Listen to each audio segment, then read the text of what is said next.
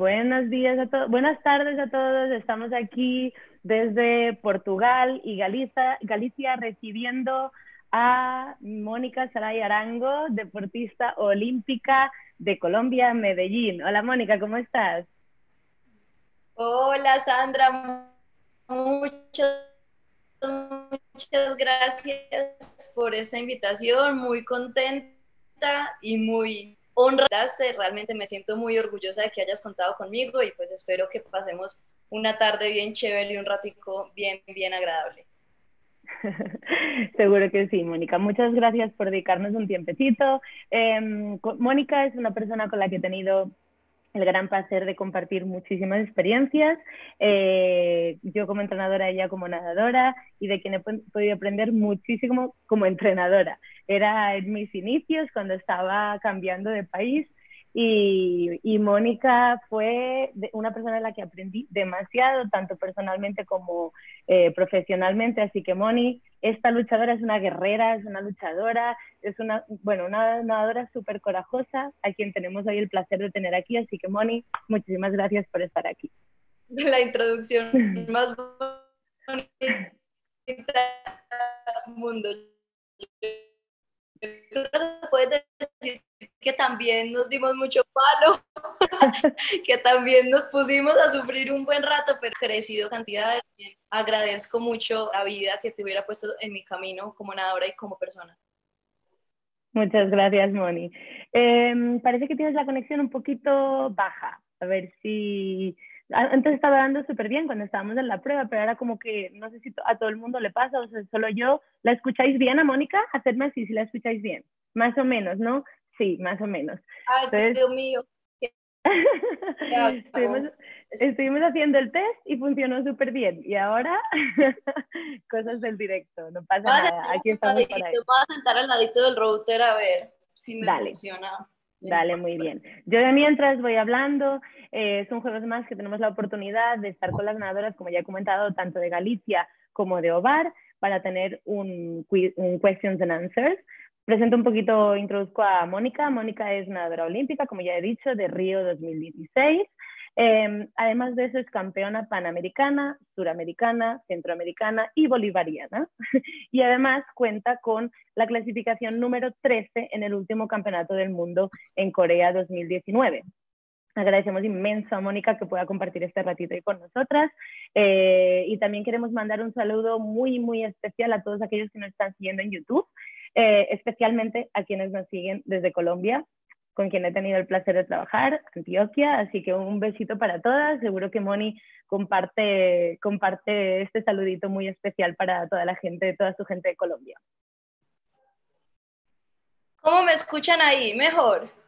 Súper mejor, Mónica, ahí está. Súper bien. bueno, pues sin más demora, ahora que ya tenemos a Mónica ubicada, que en el test no falló nada, pero cosas del directo ya se sabe. Así que vamos a empezar con las preguntas sin más demora, porque sabemos que las niñas tienen muchas ganas de preguntarte muchas cositas. Así que empezamos. ¿Cómo está tu portugués, Moni? Mm. Está igual que mi alemán. no, seguro que no. Vamos a hacer lo siguiente. Empezamos preguntando en portugués y si hay, tienes cualquier duda me preguntas y yo intento traducirte, ¿ok? Entonces tenemos ya lista a Filipa. Filipa, ¿estás ahí? Olá. Olá a todos. Olá. A minha primeira pergunta é um, sobre extensão. Uh, como, como é que tens tão boa extensão de pernas? Se é algo que sempre te foi natural ou foi algo que trabalhaste? E se é o caso, como é que trabalhaste e melhoraste? Gracias. Si pudiste entender. Es que mi portugués estaba mejor, pero no. Bueno, te está preguntando sobre cómo conseguiste esa extensión tan buena de piernas, si tuviste que trabajarla o si es algo natural que ya lo tenías en ti y que simplemente lo has venido a mejorar y si tienes algún secreto para aquellas que no es tan natural, como por ejemplo yo que os conozco bien, tu compañera tan querida de dúo, Estefanía. Entonces, si nos puedes dar unos truquitos para eso. Vale, pues es parte y parte la cuestión de la extensión de mis piernas. Soy muy afortunada porque realmente mi rodilla, digamos que nunca fue doblada, que le pasa a muchas nadadoras que la tienen un poquito doblada, pero sí la he trabajado, sí me gusta trabajarla bastante porque siento que es fortaleza y siento que, que genera como un impacto. Sabemos que estamos cumpliendo con el biotipo, tipo rusas, ese biotipo que son unas piernas tan bonitas, entonces cuando, cuando tengo esa fortaleza he procurado siempre trabajarla. Obviamente no tanto como tengo que trabajar los splits, por ejemplo. O sea, para mí el trabajo de splits es una cuestión diaria y necesito hacerlo. El trabajo de rodillas es un poquito más de conciencia y de pensar, yo sé que suena muy loco, pero de pensar en lucirlo. Entonces yo sé que tengo una extensión de piernas muy bonita y me gusta lucirlo, porque además cuando veo los videos que en ocasiones no estoy pensando tanto en la extensión, lo noto. Entonces muchas personas pueden decir, no, pero te ves con las piernas con una muy buena extensión, pero yo digo, no, me falta, tengo que que se note mucho más esa extensión, entonces también como en ese proceso de intentar mostrarlo más, de, de que se luzca, entonces también lo empiezas a trabajar más. ¿Qué les puedo decir de, del trabajo de extensión? La misma constancia que podemos tener con, con absolutamente todos los trabajos. Y muy importante, no conformarnos. O sea, yo sé que, por ejemplo, todas las entrenadoras extranjeras nos han enseñado muchos ejercicios de rodilla, el tema de intentar levantar y poquito a poco ir pegando esto al pie, todo el tema de, de esta extensión. O sea, son, son procesos que ya nos han enseñado mucho y que en ocasiones los pasamos como por alto porque nuestra entrenadora no lo diga. Entonces a veces necesitamos que nos lo diga alguien más. Me pasa a mí, por ejemplo, con los splits. Eh, hay trabajos específicos que me conviene mucho más hacer de otras entrenadoras. Entonces, lo único que les puedo decir es constancia constancia y empezar a, lucirse.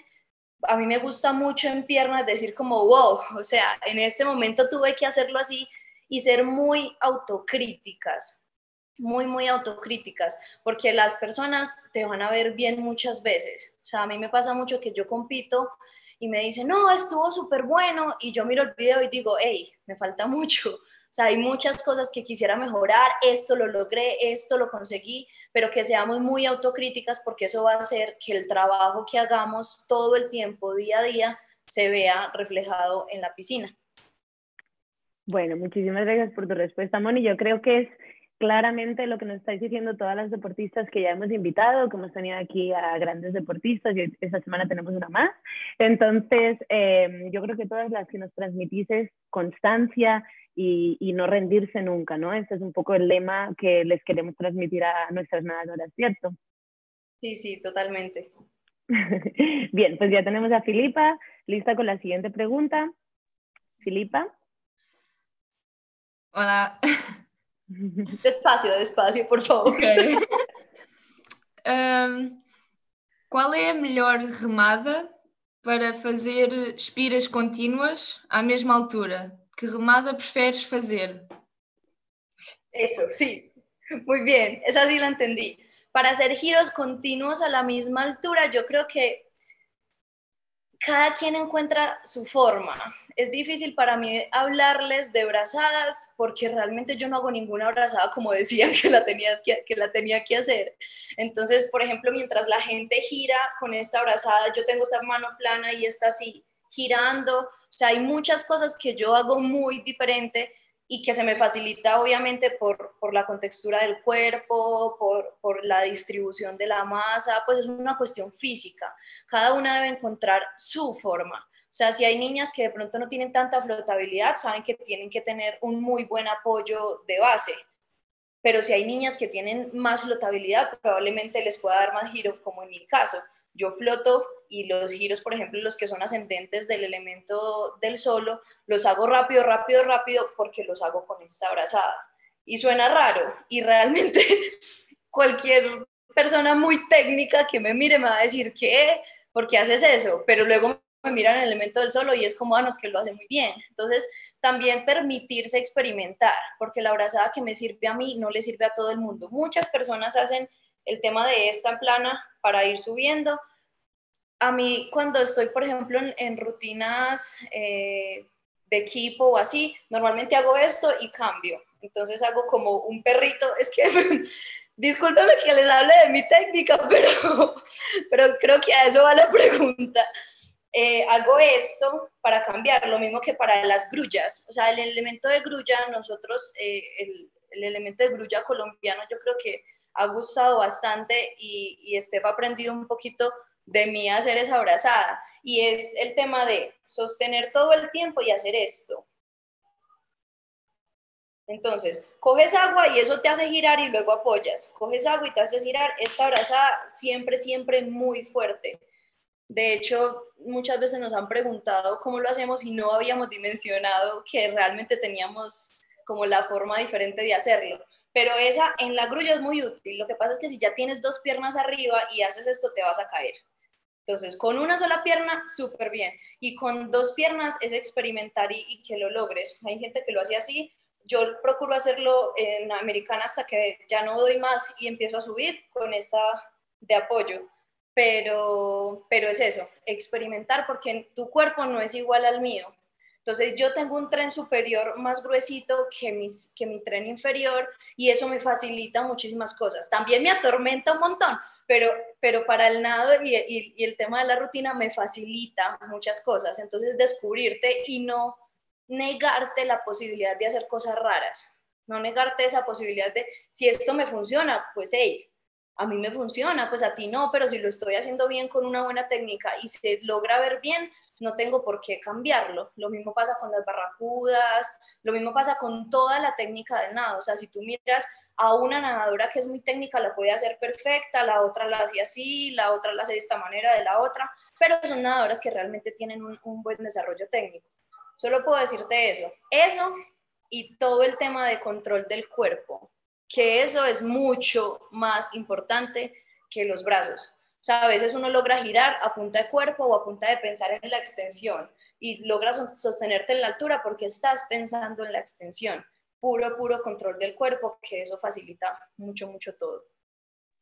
De hecho, Moni, contamos la experiencia de cuando yo llegué a Colombia y por primera vez vi a ti, Estef, haciendo la, el giro de grullas y yo dije, ¿qué?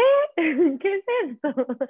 Y realmente es eso. Ellas, para mí, y yo lo he dicho millones de veces, son de las mejores eh, elementos técnicos de grúas del mundo, y lo digo aquí y lo digo siempre, son de las mejores, y lo dije desde el inicio, y hacen una remada que muchas veces las nadadoras no consiguen hacer por lo que tú cuentas, por la contextura, por la falta de extensión o por la falta de control corporal, que Mónica es una experta en control corporal, como os podréis dar cuenta si veis cualquier rutina suya. Entonces, eh, yo creo que la diferencia, cuando yo llegué allá y vi que realmente hacían, eh, estábamos acostumbradas a muy cerradas de mente, muy estar remadas así, porque es la mejor, cambia a los 90 grados, a los 45.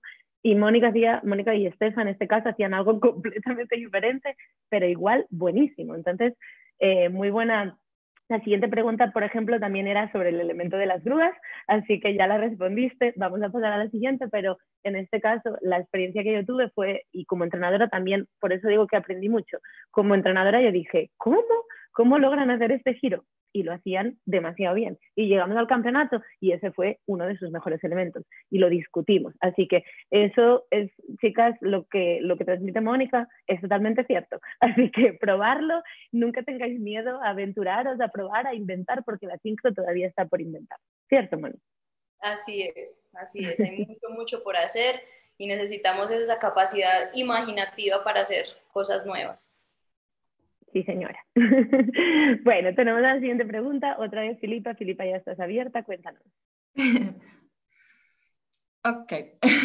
Ainda no tema das remadas, se queria saber se tens algum truque para o último elemento do sol, a barracuda. Como é que o executas? Esa es la señora tortura de todas las solistas. Y hablo de todas porque no es de todas nosotras, los países normalitos, no, de todas, o sea, ni las rusas hacen la barracuda porque es al final, porque es muy dura y bueno, yo he tenido como una posición muy fuerte con relación a eso porque igual siguen jueceándoselas muy alto cuando, cuando realmente es un elemento que todavía a nivel mundial no está bien ejecutado. ¿Qué te puedo decir? Hay, una, hay algo que a mí, te puedo decir qué me pasa cuando me descalabro, o sea, cuando me caigo, cuando todo eso y es que dejo pasar el tronco o lo, o sea, lo paso del todo. Cuando, lo, cuando paso el tronco del todo, yo ya sé que no me salió. O sea, yo ya sé que me dejo ir o me toca lucharlo demasiado para sostenerlo, difícilmente pues me queda como sin, sin terminar de girar porque yo giro muy rápido. Entonces, si me caí, giro rápido y al menos no es un cero. Pero si dejas pasar mucho tu tronco, ya estás en una posición de vertical demasiado compleja para sostener los giros. ¿Qué hago yo? Procuro sostener muchísimo, incluso un poquito más hacia adelante, para, para que la brazada de giro sea, muy sea mucho más fácil. Eso uno. Lo otro, extensión de piernas. A veces uno logra los dos giros a punta de extensión, porque tener las manos por allá sí, pero a punta de extensión ya logras sostenerlo, sostener esos dos giros y procurar, pues a mí no me gusta cuando hacen el elemento que hacen barracuda, paran y siguen. O sea, realmente es llegar arriba tan exageradamente apretadas que este, que este, este, movimiento de brazos no se sienta en el cuerpo. Realmente es un elemento más de cuerpo que de brazada, porque a veces tú te esfuerzas cantidades alarmantes con los brazos y. O sea, no te va a dar los dos giros. Yo lo que hago es sostener mucho el tronco adelante, a veces no se ve en el agua, pero a veces yo lo siento como un poquito, un poquito como exagerado de, apretarse para que no se me vayan a ir ni las piernas hacia atrás ni, ni que me quede cortica. O sea, si no logramos conseguir una primera línea vertical buena, ya no hay poder humano que haga ese elemento. Otra recomendación, hacerlo como en ascenso. O sea, intentar hacer tan un giro a la rodilla hasta que logre un giro a la rodilla, porque el otro giro, si ya estás en la rodilla, el otro giro te da más sencillo.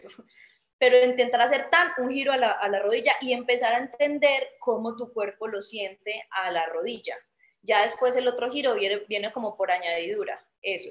Lo otro, pilas con el cruce de los brazos, porque si ya estamos controlando el no irme para atrás o para adelante, si cruzo los brazos me voy para un lado, entonces tampoco, tampoco lo voy a lograr. Entonces es eso, brazos muy en línea. Yo lo hago así también. De pronto puedes ensayar, te puede servir. Yo hago esto y hago esto y lo que pasa es que con esa abrazada mía hay algo y es que yo tengo muy poca eh, flexibilidad de muñeca. Entonces, cuando yo hago esto, no hago la misma abrazada que si hago esto. Entonces, esta abrazada me es muy útil para generar el giro, porque estoy jugando con el agua. O sea, si tú haces esto en el agua, te vas a ir para allá. Lo mismo que una patada de mariposa. Cuando tú haces patada de mariposa, avanzas. Entonces, ayuda al giro, pero conforme más fuerte tengas este lado, te va a dar altura. Entonces uno hace bastante fuerza con este brazo y te genera altura. Podrías de pronto ensayar esa brazada, esa es la que yo hago. Barracuda y girar y tan, tan, tan, mucha, mucha fuerza de hombro, pilas con una lesión, porque eso, ese sí es, es, una fuerza como que normalmente no se trabaja en el nado. Siempre es esta, siempre es esta, pero esta, así como tan rara, es un poquito más difícil que se trabaje en nado. Entonces eso, ensaya todas las maneras posibles, primero un giro a la rodilla, que el otro giro viene, y cuando tú tienes un giro a la rodilla, todo queda muy distribuido, muy bonito porque hay gente que hace tan y hace dos giros al tobillo y la idea es que sea bien distribuido. Eso es lo que te puedo decir de la técnica de ese elemento catastrófico para todo el mundo. Total, nos está comentando aquí Elvira de, en el chat, nos está poniendo, y la tortura de las entrenadoras también. En competición creo que se detiene el mundo, y es totalmente cierto. Esta barracuda es, Dios mío. En la barracuda de la persona, o sea, la entrenadora de la persona, la no entrenadora de la persona, las compañeritas, las no compañeritas, las, todo el mundo es sufriendo para que uno logre la, la barracuda al final y encima que son descarados también y lo ponen al final. O sea, al principio pues la lograría uno mejor, pero bueno, ahí está, es un reto y realmente se logra, o sea, lo podemos lograr bien, bien hecho. Sí, sí, señora. Mucho entreno y mucha confianza en probar cosas nuevas, como dice Mónica, ella se aguanta así, lo tendremos que probar. No, no, podemos dejar de probar las cosas que funcionan a, a, las personas. Bien, entonces nos vamos con preguntas ya menos técnicas, ya un poquito más sobre ti, sobre tu trayectoria, sobre cómo estás llevando esta situación. Tenemos a Alejandra preparada desde Galicia, desde Orense. Eh, así que Alejandra, cuando tú quieras. Hola. ¿Cómo estáis llevando allí la pandemia y si ya entrenáis? Gracias, princesa. Bueno, aquí ha sido más tranquilo, obviamente viendo noticias y viendo todo lo que pasó en España, lo que pasó en Italia, lo que pasó en toda Europa, eh, aquí realmente la vivimos muy diferente. Muy diferente en el sentido de que como ya habíamos aprendido de lo que se había hecho mal al otro lado del mundo, acá se hizo mucho más rápido. Nosotros entramos a cuarentena muy poco tiempo después de que en España, por ejemplo, entraron y aquí todavía teníamos muy poquitos casos. O sea, al primer riesgo de brote ya nosotros habíamos entrado en cuarentena, ya estábamos todos desde la casa. En Medellín tuvimos una particularidad y es que en ciertas épocas del año se genera mucha contaminación. En este momento dice que es por la, arena del Sahara y bueno, un montón de teorías, pero se genera mucha contaminación. Una semana antes de nosotros entrar a cuarentena por COVID, nos habían entrado a cuarentena por contaminación ambiental. Entonces nosotros no podíamos ir a la piscina, estaba prohibido hacer deporte al aire libre y ya llevamos una semana entrenando en la casa y luego toma tu cuarentena por COVID y luego hasta el sol de hoy. Entonces se nos hizo un poquito más largo cuando, más o menos cuando en Europa empezaron a entrar en cuarentena, nosotros habíamos entrado a cuarentena por, por las cuestiones ambientales. Entonces, bueno, lo hemos vivido. Digamos que no hay tantos casos de muertes, no lo hemos vivido de una manera tan trágica, todavía no ha llegado eh, la ocupación de las, de las UCI, todavía no ha llegado a sobrepasarse en el departamento que más lo tienen, lo tienen más o menos en un 70, 75% de ocupación de las, de las UCI, entonces no se ha vivido tanto. En Medellín, en Antioquia, tengo también la fortuna de que, de que se ha vivido también más tranquilo que en el resto del país. Digamos que nosotros entramos antes a cuarentena en Antioquia que por decreto nacional, entonces eh, hemos sido muy cuidadosos. ¿Qué pasa? En este momento como entramos a cuarentena apenas empezaron los brotes, empezó el, el, momento pues como de subida para controlar un poquito esa, esa subida. Pero ya se vuelve insostenible la cuarentena, la economía, la gente empieza a aguantar hambre, hay mucha gente que vive del día a día, o sea, si en Europa se ve personas que viven de su trabajo diario, Aquí se ve muchísimo más las personas que venden los semáforos, las personas que trabajan solamente eh, a lo que logren conseguir en su día, entonces había mucha, mucha dificultad a nivel de economía. Entonces empezaron a abrir la economía. En este momento que empezaron a abrir la economía, empezó otra vez la curva de contagios. En ese momento estamos, te cuento toda la historia para decirte dónde estamos. En teoría nos van a dar eh, acceso, pues ya nos dieron como la autorización de empezar a hacer los trámites. Tenemos que hacernos la prueba de COVID, luego prueba de sangre cada 15 días, pues todos los protocolos necesarios, una ocupación máxima de 10 personas en la piscina. Tenemos un complejo muy bueno, pero pues se vuelve insostenible prender ese complejo para 3, 4 peje lagartos, o sea, es muy, muy, muy difícil entonces también se está mirando la parte económica. En este momento estamos en trámite, intentando que nos permitan entrar, intentando que no se suba tanto la curva que nos vuelvan a, poner en cuarentena. Nos llevan en Europa un mes de ventaja con relación a eso, nosotros todavía vamos subiendo cuando ustedes ya van un poquito bajando. Y lo he vivido así, ha sido duro, pero yo siempre he sido de las, de las que ve las, la parte más buena a mí me, yo soy muy casera, a mí me gusta hacer cosas diferentes y a veces no tenía el tiempo. Entonces estoy estudiando mucho, yo soy psicóloga, entonces me metí a algunos cursos adicionales de, de mi carrera, eh, me puse a tocar ukelele, soy muy mala, entonces digamos que no ha sido muy productivo el tema, pero bueno.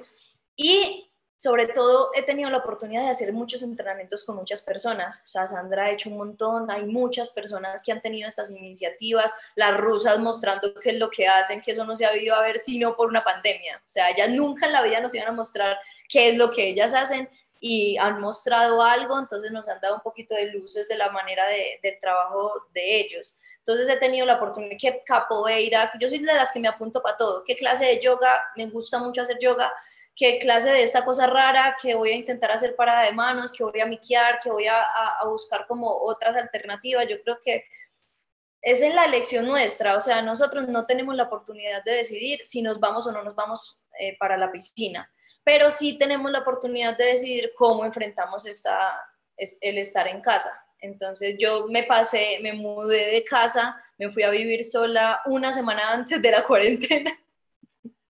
Entonces, pues obviamente el tema fue un poquito complicado, pero bueno, he aprendido un montón, he estudiado mucho, he buscado como la forma de, de, hacer entrenamientos muy diferentes, de preparaciones físicas que antes no se podían hacer, de trabajar más la flexibilidad, que es algo que yo tengo que trabajar y no tenía el tiempo a veces para hacerlo, entonces tengo el tiempo para gastarle más rato a la flexibilidad y así. O sea, cada quien encontrará lo que le gusta hacer, lo que le apasiona, lo que quiere chismosear un poquito para ver si es bueno y yo creo que es la, la, la oportunidad para hacerlo, al menos ha sido para mí la, la oportunidad de aprender nuevas cosas. Además, os cuento que como Moni ha dicho que es psicóloga, además de eso está trabajando y ejerciendo como tal. O sea, que ella lleva la vida de deportista y la vida profesional al mismo tiempo. O sea, que bueno, Moni es lo que llaman en Medellín una berraca, ¿sí o no?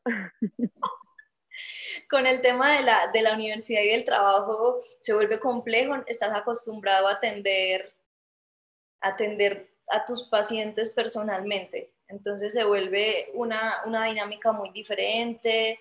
También trabajé mucho con psicología deportiva en, en instituciones educativas, entonces especialmente una que quiero mucho que se llama ITM, que es un instituto universitario, y cerraron la universidad, cerraron el tema del deporte, entonces bueno, ha sido un momento de hacer las, las, cosas de manera diferente, o sea, o nos adaptamos o nos llevó el que nos trajo, hacer las cosas de manera diferente y también de montar muchos proyectos a nivel teórico para que cuando salgamos de acá se puedan realizar de verdad. Entonces yo creo que esa combinación estudio, deporte, en cuarentena pues me ha mantenido muy, muy ocupada todo este tiempo.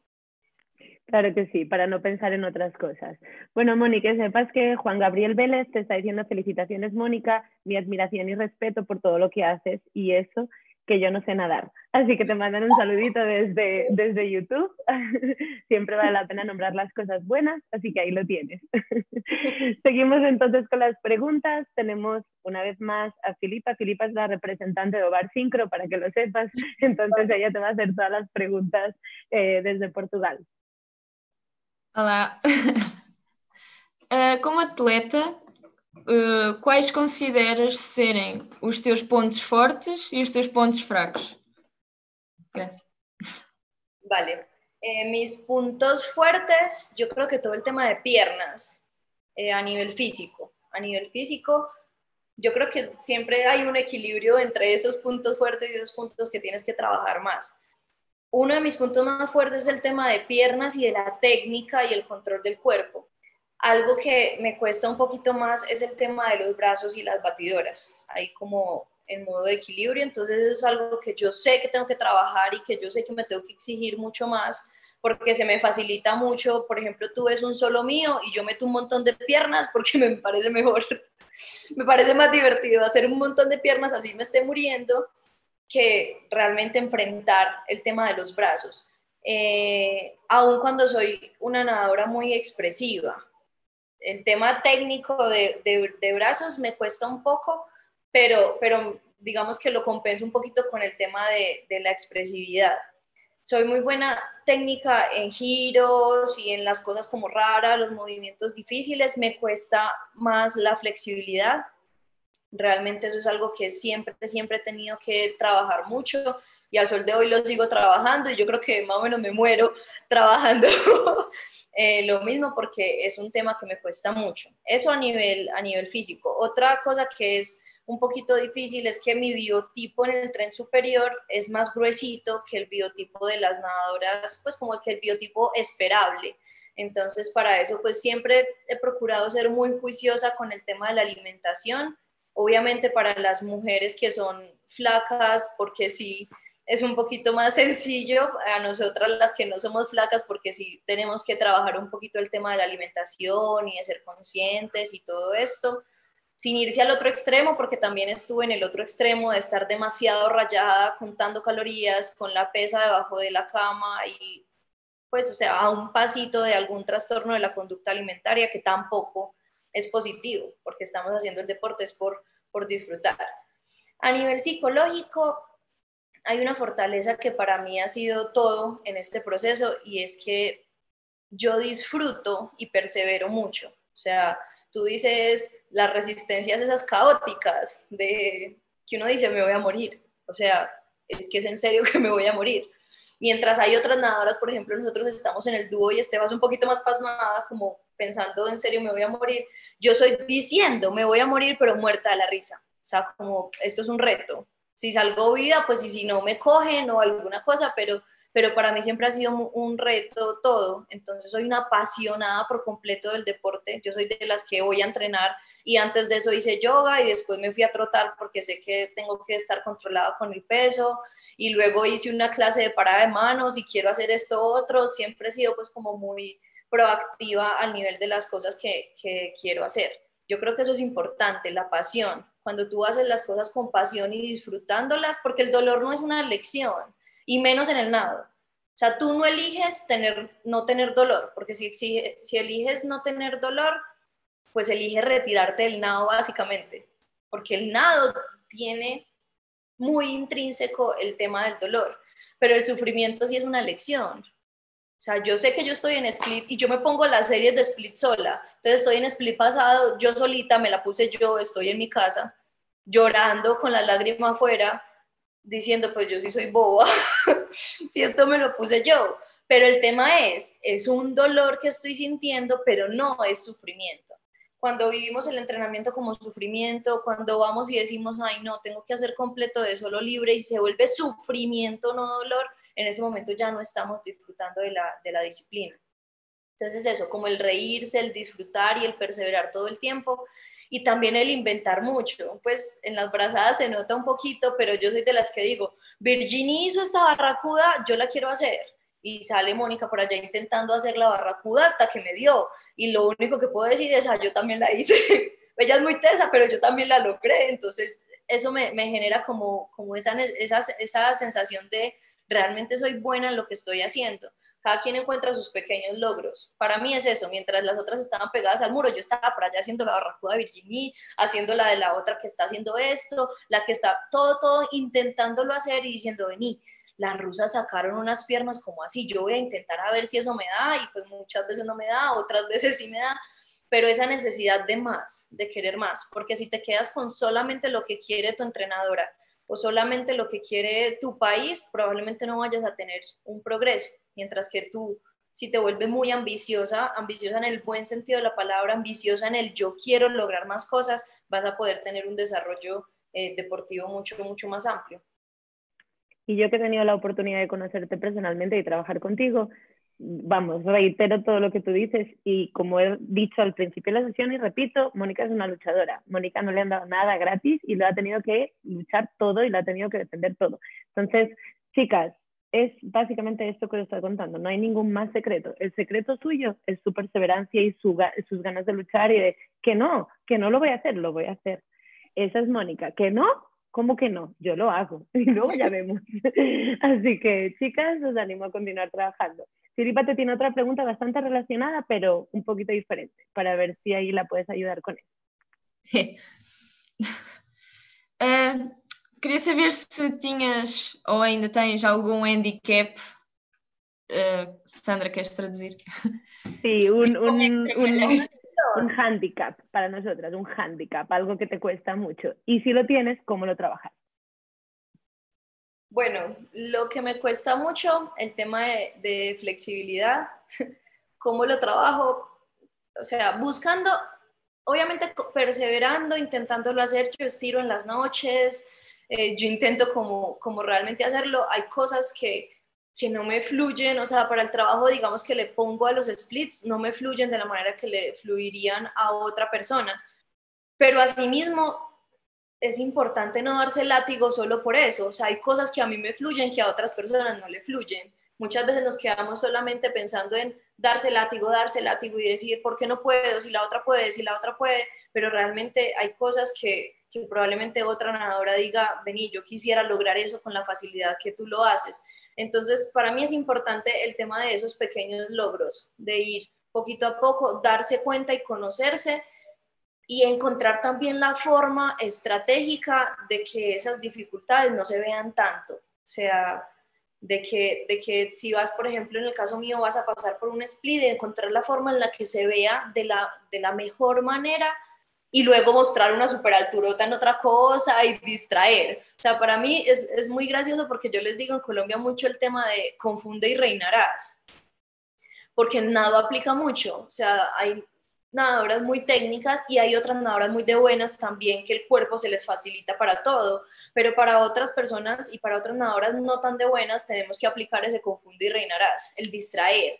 Somos humanos, todos somos humanos, los jueces son humanos. Si tú logras distraer de alguna manera de algo que tú de pronto no haces tan bien, pero luego haces algo muy top, haces algo que impacte bastante, el juez va a quedar un poquito perdido. Entonces yo creo que hay que ser muy estratégicos. Sandra lo sabe en, tema de estrategias de, montaje. Yo procuro hacerlo mucho, sobre todo como con los solos, con decir, bueno, hago este elemento que tal vez no es mi, mejor elemento, pero luego le meto yo giros sostenido, pues no sé, le meto alguna cosa que el juez se distraiga, que se distraiga un poco y diga como, vení, o sea, eh, era así, o será que tal vez no vi bien, bueno, entonces lo voy a poner más. Me imagino yo pues en mi ilusión con el tema de mi estrategia, pero yo creo que es importante. Para mí eso, trabajar, trabajar, trabajar hasta, hasta que nos cansemos y después de que nos cansemos y encontrar la estrategia, estrategia en brazadas, estrategia en cuerpo, entender qué es lo que pasa. Yo, por ejemplo, solamente hace dos, tres meses me di cuenta cuál es la lesión de mi cadera ¿Qué es lo que pasa? Porque me hice una resonancia, porque venía con un dolor muy fuerte, por muchas cosas. El ortopedista me prohibió hacer split. y yo, mm, bueno, no, igual tengo que hacerlo en la noche. Pero realmente es, el, es ese tema, encontrar qué es lo que está sucediendo. A veces no entendemos, a veces algo no nos da y, decís, pero ¿por qué? ¿Pero por qué? ¿Pero por qué? Y luego te das cuenta que tenés un hueso atravesado, que tenés un tendón atravesado que, que no te lo permite y ahí encontrar la estrategia de manejar tu cuerpo diferente. Si yo sé, por ejemplo, el, el primer elemento, esta subida de arco, es una subida muy difícil y que la gente dice, solo lo hacen las flexibles. Cuento, eso es puro cuento. Yo no tengo la flexibilidad de arco, pero encontré la forma de apretar el abdomen y encontrar la fuerza para llegar con una muy buena altura. Entonces, por ejemplo, eh, alguien me decía como, ah, es que les da, pero es porque tú eres muy flexible. Y yo como, o sea, confunde y reinarás confunde y reinarás es esta subida mía. O sea, a mí no me da para, para, tener la posición de arco perfecto, pero a punta de fuerza de, porque tampoco es la flexibilidad de hombros, es encontrar la forma en la que tu cuerpo lo hace bien. Yo la encontré a punta de control del cuerpo. Y cuando ya llego aquí, llego bien con la abrazada y llego eh, sostenida. No puedo hacer la abrazada muy atrás porque no me llega el hombro, porque no me llega el arco, pero, pero encuentras la forma de hacerlo. Entonces yo creo que es muy importante eso. Si yo sé que tengo esta debilidad, si yo sé que, que se me dificulta esto, trabajarlo mucho, sí, pero encontrar la forma en la que puedas hacerlo mejor, encontrar la forma en la que puedas confundir un poco y que puedas encontrar una mejor ejecución, muchas veces violentando lo que dicen de, de que la técnica correcta es así, pero pues hombre, si, si hago la técnica correcta y llego a los tobillos, pues prefiero hacer alguna diversificación propia para llegar más alta. Y realmente les preguntas a los jueces y en ocasiones no se dan cuenta, muchos sí se dan cuenta, pero igual va a prevalecer que tú hagas algo mejor a que simplemente conserves la técnica, pero llegues muy bajita o con las rodillas dobladas. Hay que encontrar como la forma del cuerpo y encontrar cómo hacer cada una sus, sus ejecuciones.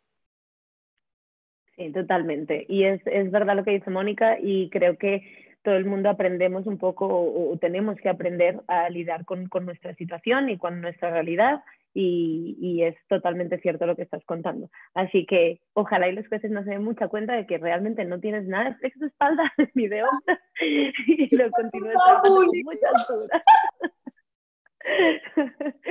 bueno, seguimos entonces con las preguntas. Tenemos otra vez a Alejandra desde, mm, desde Orense. Alejandra, ¿cómo estás?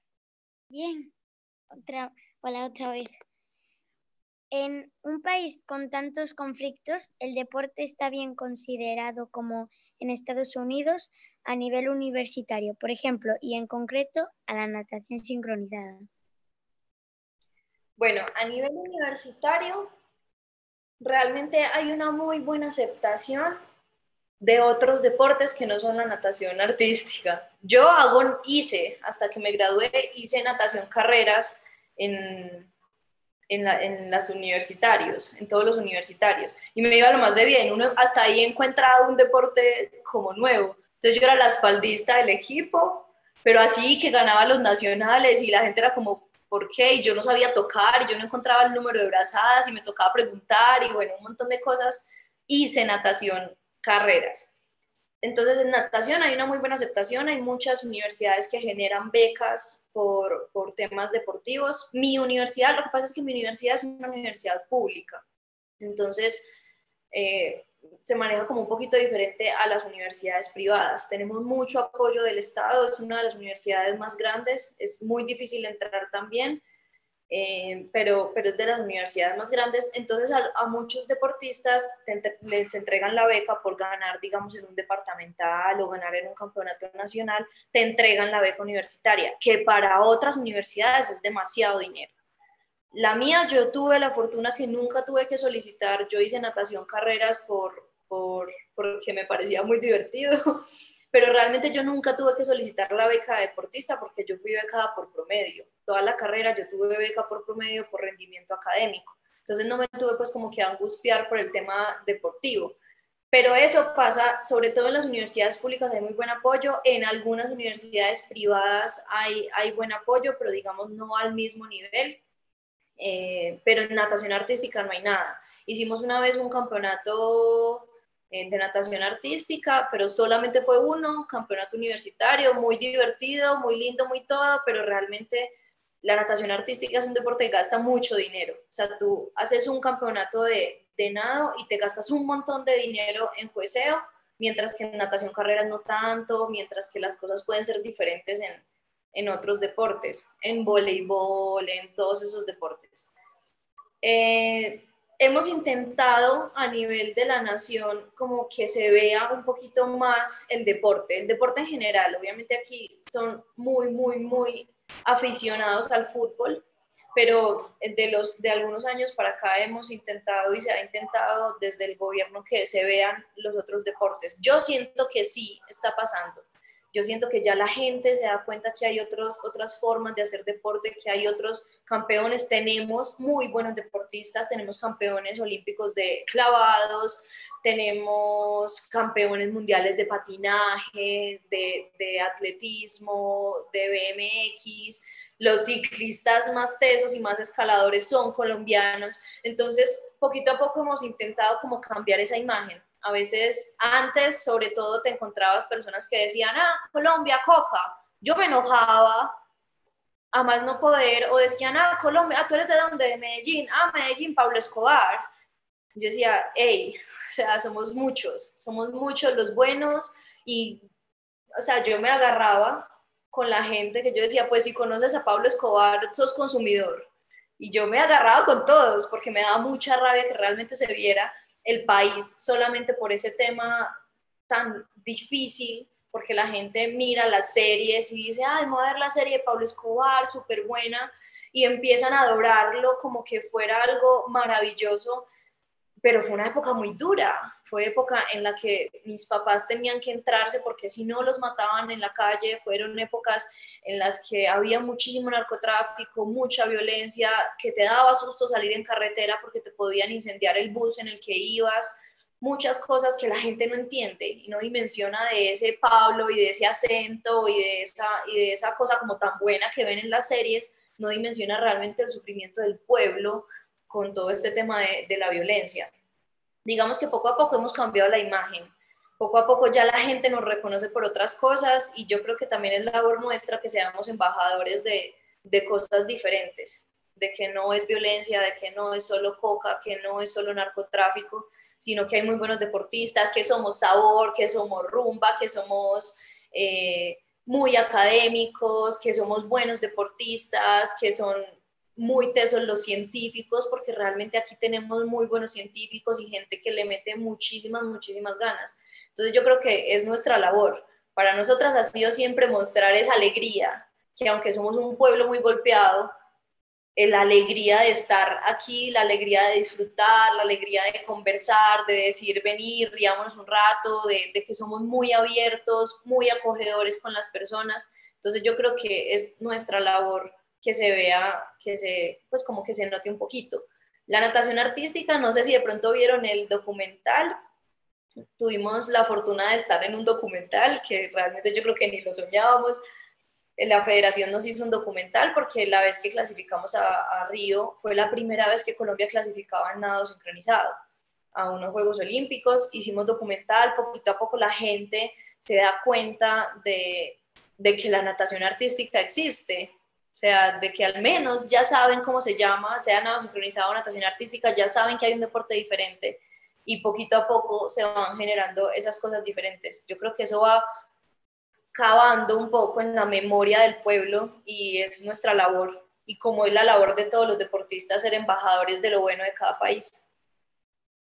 Sí, además además de ir generando nuevos deportistas de nuevos deportes, como tú cuentas, y de todas las cosas buenas que has dicho, sabor, bueno, no hace falta que diga nada más, pero también hay una cosa muy buena que a mí me emocionó de Colombia, yo que viví allí un año en Medellín concretamente, y sí, concuerdo contigo, no es ni coca, ni narcos, ni nada de eso, o sea, eh, obvio que hay de todo en todos lados, pero una cosa que me maravilló de Medellín y de Colombia en, en general es el paisaje, o sea, tiene unos paisajes, tiene unas vistas, tiene una es una ciudad, Medellín en concreto es una ciudad nunca vista antes. Yo no he encontrado ninguna ciudad igual a Medellín y eso es verdad. Además, es la ciudad de la eterna primavera, o sea, siempre hace calorcito, es tremendo. Así que aparte, quien no conozca Colombia, la invito a ir y a visitar porque de verdad que son súper, todo lo que ha hecho Moni es verdad. Y le añado que además hay unos, unos paisajes espectaculares. Así que no lo dudéis, no tengáis miedo, visitar. Comer frutas, todas, todo el tiempo. Eso realmente a los extranjeros les gusta mucho. A veces no lo valoramos estando aquí. O sea, solo cuando yo voy a Europa o cuando voy a un campeonato por fuera, me doy cuenta de, lo valioso que es salir de la piscina y comprarle a los more afuera. Comprar un mango, comprar una piña, comprar una papaya y que siempre esté bueno. Que no sea una cuestión, obviamente en ocasiones hay más cosecha y todo esto, pero no es una cuestión de están muertas por completo las fresas, no, o sea, aquí siempre hay fresas, aquí siempre hay mango, aquí siempre hay guayaba, aquí siempre hay de todos, además hay un montón de frutas que no existen en otros lados. eso iba a decir, eso iba a decir. Otras cosas. Yo, yo cuando fui a vivir para allá, lo primero que me emocionó, lo primero, primerísimo, fueron las frutas. Lo primerísimo. El maracuyá, para mí un zumito de maracuyá, eso no tiene precio. Y allí las frutas es que es ciertísimo. Era, comíamos fruta todos los días. Salías de la piscina, podías comprar algo de fruta fresquita, sabrosa, o sea, bueno. no vamos a decir nada más. Mejor lo vais y lo comprobáis. A Colombia y en concreto Medellín, ¿sí o no? Así es. bueno, seguimos entonces. Nos vamos con Candela a Vigo, también a Galicia. Candela, ¿cómo estás? Hola. Eh, yo te quería preguntar qué es para ti representar a tu país. Gracias. Sí, para mí representar a mi país es orgullo y es la posibilidad, como les decía ahorita, de mostrar otras cosas. La posibilidad de que la gente tenga una percepción diferente de lo que es el país, de la posibilidad de conocer otras culturas y valorar la tuya, porque a veces eh, nos quedamos centrados como en ese regionalismo de simplemente valorar sin mirar otros, otros lugares, pero el ser deportista te permite ir a otros lados y luego decir, ¿sabes qué? Yo quiero vivir en Medellín. Yo disfruto mi ciudad, que muchas veces dicen, ah, Medellín es la mejor ciudad del mundo, y la gente dice, pero pues ¿a dónde has ido? Y nosotros tenemos la, la, la potestad de decir, he ido a muchos lugares y me quisiera quedar en Medellín. Entonces yo creo que, que, esa posibilidad, el orgullo de tener la camisa, el orgullo de, de competir por tu país, de mostrar otras cosas, de, de que se genere un impacto. Eh, Colombia a nivel deportivo, pues a nivel de natación artística, digamos que no tenía un nombre muy fuerte y fue nuestra labor el tema de ir abriendo camino para esas chiquitas que vienen, para esas niñas que también le están metiendo ganas, que ellas sigan el legado. Entonces yo creo que siempre es importante y, lo, más, lo que más me llena de orgullo de, de ser deportista colombiana es dejar legado, porque uno tiene que dejar algo, uno entrega algo, sobre todo a las niñas. Yo soy una amante por completo del trabajo con niños y, de, y del tema de educar y de formar. Yo siento que el deporte forma como personas mucho más que como deportistas y eso es lo que nos permite eh, a nosotras como colombianas que seamos eh, como la punta de la lanza, que mostremos otras cosas y que seamos el ejemplo de ese montón de chiquitas que están mirándote con ilusión cuando dices, cuando haces, cuando no haces, todo eso es, es un orgullo muy grande para mí. Sí, señora. Candela, ¿tienes otra pregunta? Vale. Eh, sí, bueno, va un poco relacionada. Eh, ¿Te gustaría formar parte de otra selección, por ejemplo España o Rusia? Yo matada, ojalá me recibieran. Yo creo que si tuviéramos la, la, oportunidad, de hecho yo creo que lo hablamos un, tiempo con Sandra la primera vez que nos fuimos a, a, la primera concentración en el CAR, que Sandra nos decía, si alguien tiene que saltar, usted va y salte. Yo decía, ah, yo voy y salto, yo ya me sabía la rutina y yo me meto en lo que sea, o sea, obviamente no, o sea, no somos el mismo biotipo de, ni de las españolas, ni de las rusas, ni de las chinas, pero la experiencia tendría que ser maravillosa. O sea, a mí me encantaría ese tema de conocer las cosas diferentes y al conocer, valorar también las cosas que haces bien. Muchas veces, y yo hago mucho énfasis en eso, porque muchas veces y en muchas épocas de, mi vida me di demasiado palo mirando que las, otras las otras hacían algo mejor que yo pero se me olvidaba mirar las cosas que yo hacía mejor. En España, por ejemplo, cuando, cuando estábamos en concentración, había cosas que yo decía, hey, esto me da más fácil. Y realmente somos humanos, o sea, somos personas, todos estamos trabajando en algo. Eran como, vení, eh, tú haces esta grulla muy bien, vení, yo la miro, para ver ustedes qué es lo que hacen, cómo lo, cómo lo, cómo lo están haciendo técnicamente. Entonces, la oportunidad de, de, conocer, sí, haría parte, obviamente no sin dejar de ser tan orgullosamente colombiana, o sea, pero sería una representación en otro país que, que seguiría siendo lo mismo. El tema de dejar legado, el tema de compartir, el tema de que se cambie un poquito la percepción de lo que es Colombia, eso sería, seguiría siendo algo así. Entonces sí, me le metería con toda. Yo sé que si me metería a un equipo ruso, saldría descaderada en 3-2-1 porque ya me tendrían por allá haciendo más split del que yo hago, pero, pero la oportunidad sería genial. O sea, yo lo haría y me meto y lo que tenga que hacer, obviamente es algo que en esta situación y en todas las situaciones es, es muy difícil. Pero nunca se puede dejar de soñar, Mónica, nunca. Nunca, nadie te iba a decir que llegarías donde llegaste, así que nunca se puede dejar de soñar. Tenemos a Aitana desde, desde Pontevedra. Aitana, ¿estás ahí? Hola. Hola. Mi pregunta es, ¿qué te pareció entrenar con la española Marga Crespi? Marga es hermosa. No solamente por el tema de que tiene una capacidad de que, de que aprendas y tiene la capacidad de ver en ti las cosas buenas. O sea, para nosotros Marga llegó en un momento en el que nosotras estábamos muy aporreadas, estábamos eh, sintiéndonos mal, sintiendo como un poquito que, que no servía lo que estábamos haciendo. Y llega Marga a decirnos, hey, son muy buenas, son muy tesas, montamos, la primera rutina que montamos la montamos en cuatro días y ella nos decía, eh, la montamos juntas, no fue una cuestión solo mía.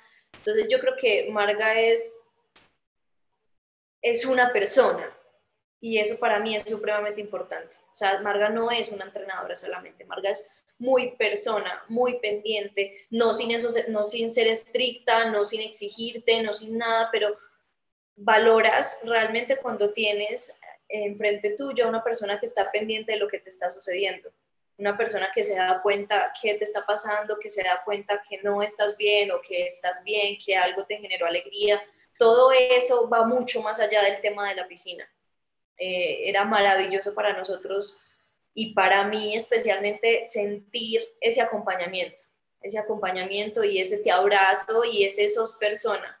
Aprendí muchísimo de ella, mucho como deportista, sigo aprendiendo y como persona muchísimo más, porque realmente valoras el hecho de que la persona que esté ahí parada afuera te hable no solamente desde, tu, desde el conocimiento técnico, sino que te hable desde el ser que hay en el fondo. Entonces, hermoso, hermoso, hermoso fue el tema de entrenar con Marga.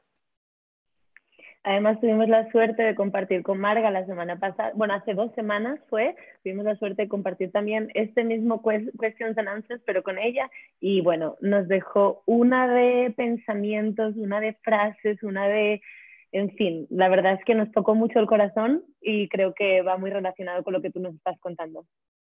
Es hermosa, por completo. Perfecto, Candela, desde Vigo, ¿tienes una preguntita más?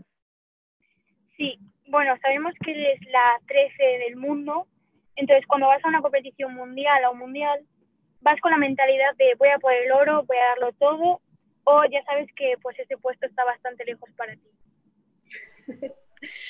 bueno, realmente en el nado es muy difícil decir, y más a un, a un país como Colombia, decir voy por el oro, y porque además a nivel técnico realmente hay cosas, hay muchas cosas que faltan. No tantas como las hacen ver realmente, pero hay muchas cosas que faltan. ¿Qué busco yo, por ejemplo, en, en, en los mundiales? Mostrar. Mostrar y que diga como, ay, ve, porque a la gente le olvida que uno existe. Es como, ve, esta nena de Colombia está bien. O sea, como esos comentarios y eso que, que encuentras me encanta, por ejemplo, las rutinas, la competencia de rutinas técnicas y en especial esa competencia de solo técnico, me encanta porque hay muchas cosas que, que se me dan fácil, fácil no, que, que, que me fluyen, que me fluyen un poquito más y hay nadadoras a las que no les fluye tanto. Entonces, el hecho de mostrar, vení, soy colombiana y puedo mostrar eh, talento, puedo mostrar una ejecución técnica que tal vez no esperaban ustedes para el país era, para mí es eso, en un mundial. En, uno va poquito a poco. Por ejemplo, para el próximo mundial mi meta es meterme a la final, que realmente no lo hemos logrado. Meterme a la final y después de que me meta en la final empezar a codiarme con toda esa gente tesa que está ahí en la final. Pero ese es el hecho, poquito a poco, paso a paso. Entonces eso es lo que busco yo como en un, en un mundial. Ese, ese tema, sí, los puestos están dichos y todos tenemos que enfrentarnos a eso, o sea, no podemos pintarnos pajaritos en el aire, maripositas y flores, el nado es el deporte más justo del mundo, porque no es así. Y tenemos que ser conscientes de que esa es la vida que elegimos, no la que nos tocó, que muchas veces la gente dice, ay no, esta fue la vida que me tocó, no, esa es la vida que usted eligió, estar aquí es la vida que yo elegí, este deporte es el deporte que yo elegí. Y hay que ser conscientes de que, de que es muy injusto en muchos, en muchos sentidos. A nosotros, por ejemplo, les comento, fuimos al primer mundial, nos pusieron un puntaje y de ahí en adelante en todos los mundiales nos pusieron el mismo puntaje. Aún en la clasifica en, en el mundial previo a Río, nosotros ya veníamos, habíamos aumentado por ahí 5 o 6 puntos de ese puntaje inicial y nos volvieron a poner la misma nota. Yo decía, me estás diciendo que desde el 2011, desde el 2013, yo no he mejorado nada. Es como, o sea, no, me digas eso, que si afuera te vas a bajar a decirme que he mejorado mucho, que le encanta la ejecución, es cruel darse cuenta de, de, de esos puntajes. Pero esa es la vida que elegimos, ese es el deporte que elegimos y ellos también son personas, o sea, les toca juiciar 40 duetos y un paso, el primer paso es darse cuenta cómo estaban rankeados en la, anterior, para no irse a rajar.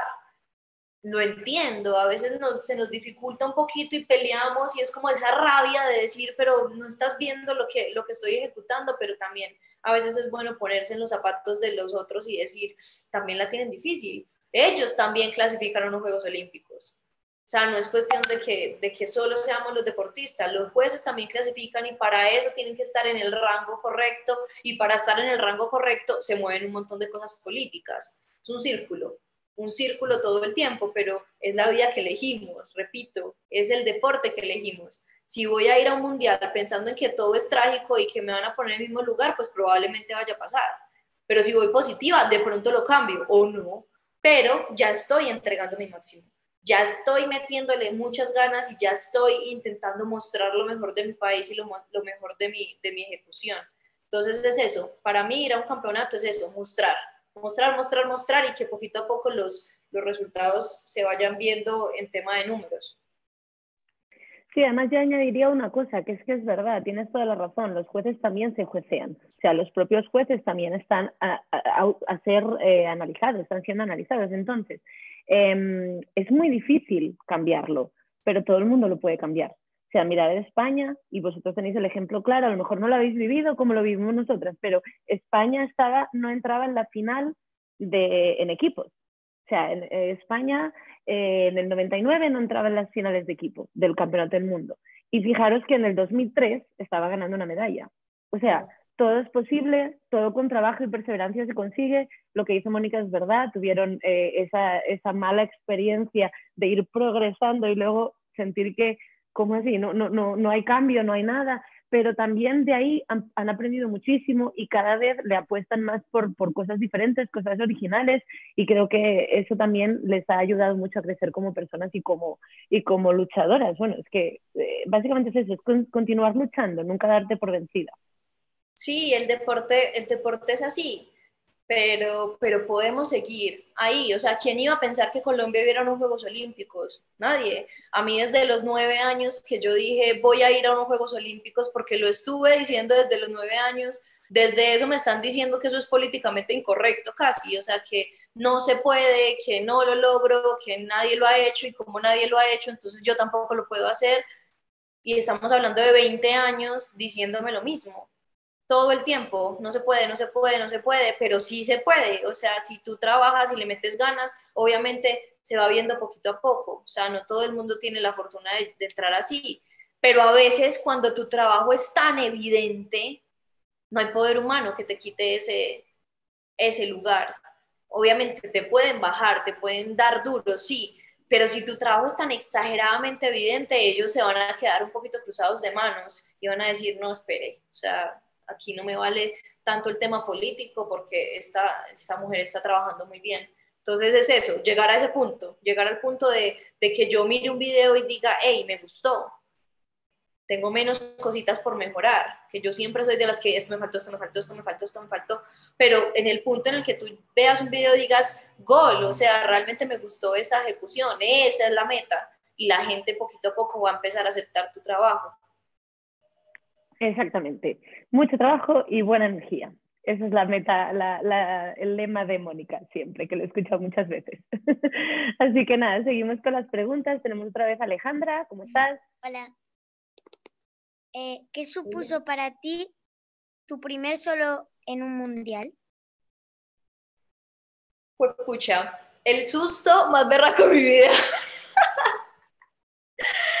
eh, es enfrentarse a, tanto y para mí siempre había sido algo que yo quería hacer que se retrasó un poco por, por decisiones de arriba.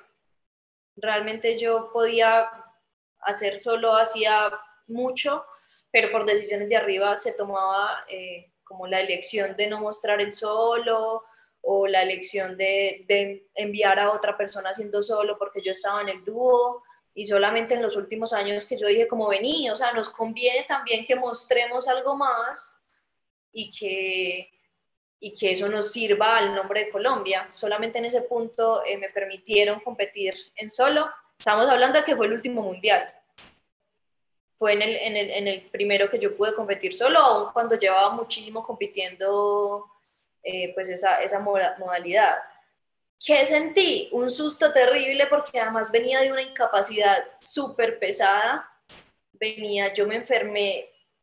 Yo siempre he sido una mujer muy saludable, pero me enfermé mal, o sea, se me subió la presión, me incapacitaron mucho tiempo, me costó mucho recuperar, fue muy duro para mí el tema de, de, que me subiera de peso sin razón alguna y todo obedecía como al tema de la enfermedad, entonces fue muy duro. Y el tema de ir es la primera vez que me dan la oportunidad, que me dicen sí, a solo, dale, pues si usted quiere hacer solo, vaya haga solo. Entonces, era la primera vez y la responsabilidad de demostrar algo bueno. No sabía qué esperar, pero tenía sobre todo muchísima confianza en mis elementos técnicos, que siempre ha sido pues el solo técnico una fortaleza muy grande mía, tenía mucha confianza y en ese fue en el que logré ese lugar 13, me peiné y todo, que porque iba a ser precompetidora y luego dijeron que eso ya lo habían quitado. Yo estaba lista para volver a nadar, pero bueno, no, no, no se generó la, la oportunidad, pero sí tenía muchísima ansiedad. No es lo mismo estar en una sala de espera de un campeonato nacional que estar en una sala de espera de un campeonato del mundo de que tengas al lado a las rusas, de que tengas al lado a las chinas, que uno dice, Dios mío, santo, hasta aquí llegué.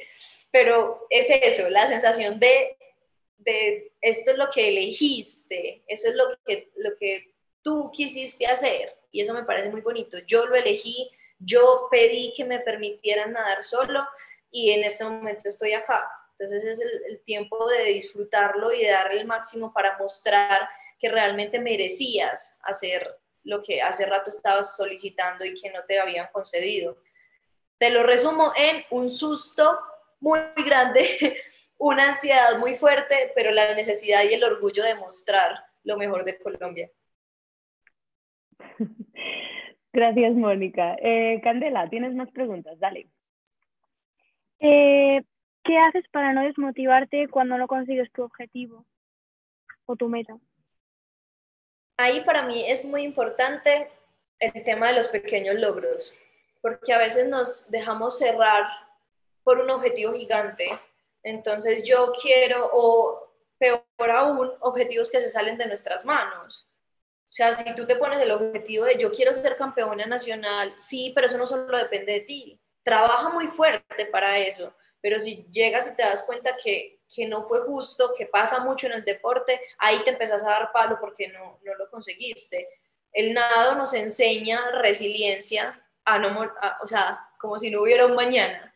Yo creo que ningún profesional está tan adaptado y tan bien entrenado en resiliencia como alguien que hizo nado sincronizado o natación artística. Porque a nosotros eso es como pum y vuelve y párese, pum y vuelve y párese, pum y vuelve y párese, porque todo el tiempo es eso. Entonces yo creo que es aferrarse a los pequeños logros, aferrarse a esas pequeñas cositas que, vamos haciendo poco a poco. Entonces, eh, si mi meta es hacer un solo espectacular, pues tengo que empezar por unas primeras piernas espectaculares. Entonces, si me voy a, a, hacer la evaluación completa del solo y no me gusta, mirar qué cositas sí, que me puedan dar motivación, que me puedan entregar algo de lo que yo necesito en esos momentos como de tristeza que a todos nos pasa que nos desmotivamos y decimos, ah, pero ¿qué? Pero yo estoy logrando cosas nuevas. Para mí también es muy útil hacer otras cosas. Entonces, si digamos, tengo algo que me está, eh, se me está dificultando en el deporte, tengo la satisfacción de que dure un poquito más en parada de manos. Pues yo siempre les pongo el ejemplo de la parada de manos porque yo mantengo miqueando y buscando como cosas raras, pero logré una posición en yoga de equilibrio de brazos que, que no lograba antes todos esos pequeños detalles que nos dan la satisfacción de estar haciendo las cosas bien. Y si no es hoy, será mañana. Que a veces es como, me tiene que dar la barracuda hoy, me tiene que dar, me tiene que dar, me tiene que dar, me tiene que dar, y ya no hay poder humano que haga que lo hagas. O sea, ya, duérmase y, y mañana lo haremos. Quédate con, con eso, con que mañana lo haces. A veces nos damos mucho palo. A veces es, es látigo y látigo y látigo cuando realmente podemos decir, vení, no logré esta barracuda, pero mira que hoy bajé un poquito más en el split, pero mira que hoy hice los giros arriba eh, más altos, hoy mejoré mi altura en la vertical, me falta la barracuda, sí, estoy aprendiendo.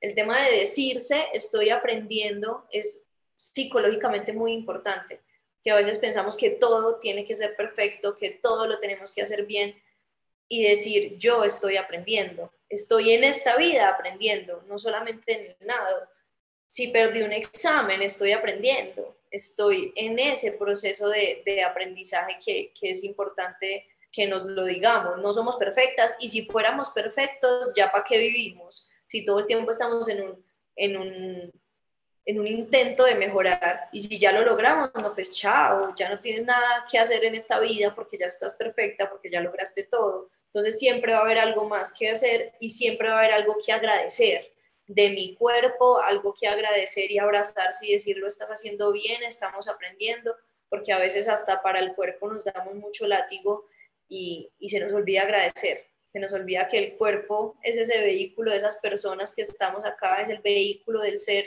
y se nos olvida darle las gracias por estar bien, por estar con salud y por permitirme seguir intentándolo. Qué bonitas palabras, Moni. Tenemos aquí a Elena con la mano levantada, así que le vamos a dar paso, que a lo mejor la pregunta es relacionada. Elena, eh, desde Lugo nos habla Elena. Elena, cuéntanos. Hola. Eh, mi pregunta es que quién ha sido la persona que más te ha ayudado a luchar y a seguir en, en la sincro.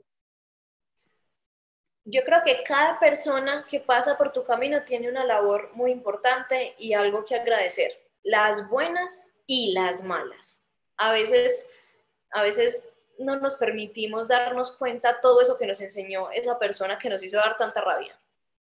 Y, llega un punto y nos pasó, pues me pasó a mí mucho cuando, cuando estábamos pues en todo este tema de, de lograr cosas nuevas que había personas que estaban como todo el tiempo siendo una piedra, que uno caminaba y caminabas para allá y estaba esta piedra acá y caminabas para acá y esta misma piedra y uno era como, fue pucha, pero ¿por qué todo el tiempo? Pero agradecer, porque eso nos hace más unidas, porque eso nos hizo más fuertes, porque eso nos, nos permitió muchísimas cosas. Cuando logras agradecer, le bajas un poquito a las revoluciones de la rabia que tienes contra, contra ciertas situaciones o contra algunas personas. Es importante agradecer. Yo creo que siempre, siempre ha habido muchas personas en el camino, muchas personas que dices, fue madre, me generaste algo muy horrible, pero hizo que yo fuera mejor. O me entregaste tanto y me hace tanto bien que te lo agradezco cantidades. Hay que agradecer, por un lado, por el otro, los que sí, los que no. De hecho, por ejemplo, cuando nosotros logramos la clasificación, mi primer mensaje fue, gracias a quienes creyeron y a quienes nunca lo hicieron.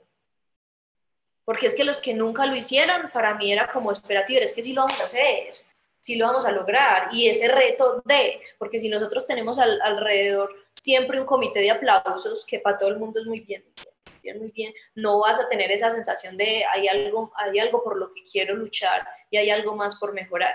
Siempre agradecer. He tenido entrenadoras que me han enseñado cantidades, dentro de esas está Sandra, que me ha enseñado cantidades y sobre todo para mí muy importante valorar el tema de que del ser, el tema de la persona, el tema de lo que te enseñe y el tema de ver algo que si no te gusta puedas permitírtelo hacer diferente. Eso es algo que para mí con, con mis consultantes es, es importante y son tres palabras, se las voy a soltar así pues como sí, por favor y gracias. El sí es, el, es, la aceptación de estar viendo algo, por ejemplo, en una situación negativa. Eso es muy útil para cuando tienes muchas cosas que, que, no, que no te gustan y como que se desbordan un poco. Sí lo estoy viendo, sí estoy viendo que esa relación eh, de mi tía no me gusta, sí estoy viendo que la forma en la que esta entrenadora trata a sus niñas no me gusta, sí estoy viendo que los valores importantes para ella eh, no resuenan con los míos, sí estoy viendo que yo no haría ese tipo de cosas tan injustas, sí, lo estoy viendo. El tema de la aceptación, porque a veces nos llegamos y decimos como, no, no, no, no, no, eso no pasó, eso no pasó, eso no pasó, y luego abrimos los ojos y es peor, porque nos damos cuenta que la realidad se nos pone enfrente. Entonces el tema de sí, lo estoy viendo, Gracias por mostrármelo, lo bueno y lo malo. Gracias por mostrarme lo que yo no quiero ser. A veces no agradecemos eso. Gracias por mostrarme lo que yo no quiero hacer. Gracias por mostrarme los valores que yo alimento en mí, que tú no tienes. Gracias por mostrarme las maneras en las que yo no lo quiero hacer. O gracias por mostrarme las formas que yo quiero hacer. Gracias por mostrarme el trato que yo quisiera tener si fuera entrenadora. Gracias por mostrarme tu manera de interactuar, gracias por mostrarme tu forma de estar pendiente, gracias porque me lo estás poniendo evidente. Y por favor, permíteme hacerlo diferente. Que a veces no nos lo permitimos. Por favor, permíteme hacerlo diferente.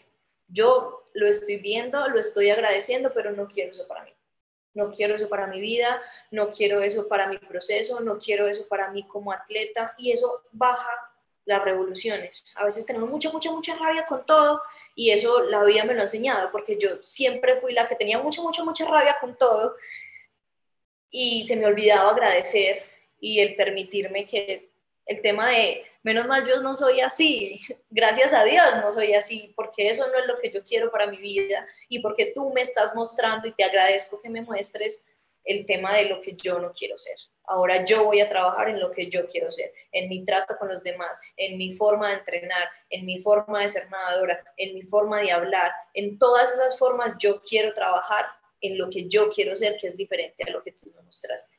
Entonces, eso en cuanto a todas las personas que pasan por tu proceso. Para mí todo es valiosísimo, todo ha sido valioso y siempre aún, yo creo que siempre hasta que, hasta que nos vayamos de este plano, vamos a tener cosas que nos molestan, cosas que no nos gustan, cosas con las que diferimos, pero el tema es qué estás alimentando tú y qué estás haciendo tú como persona, qué estás generando tú y qué le estás enseñando a los demás. Eso me parece muy valioso. Mónica, escucharte es un placer y demás, ver cómo cuando yo llegué a Colombia, que eras esa revolucionaria y yo todavía más, y éramos así, pero aprendimos a convivir, aprendimos a trabajar, aprendimos, lo he dicho al principio, lo repito, aprendimos mucho una de otra, yo creo, y, y, eso es lo que, nos, lo que nos da la vida, lo que tú dices, lo que sí, lo que no, lo que mejor, lo que peor, y lo que, ok, tú hiciste así, yo lo voy a hacer de esta forma. Y eso es lo que nos diferencia como personas y como humanos. Así que un gusto escucharte, Mónica. Tenemos a la siguiente pregunta lista. Está Daniela desde Galaico, desde Pontevedra también. Daniela, cuéntanos. Bueno, mi pregunta es ¿qué, qué te motivaba para luchar por algo que sabías que era muy difícil conseguir? Sabes que hay, hay algo que para mí es muy importante y es el tema del proceso.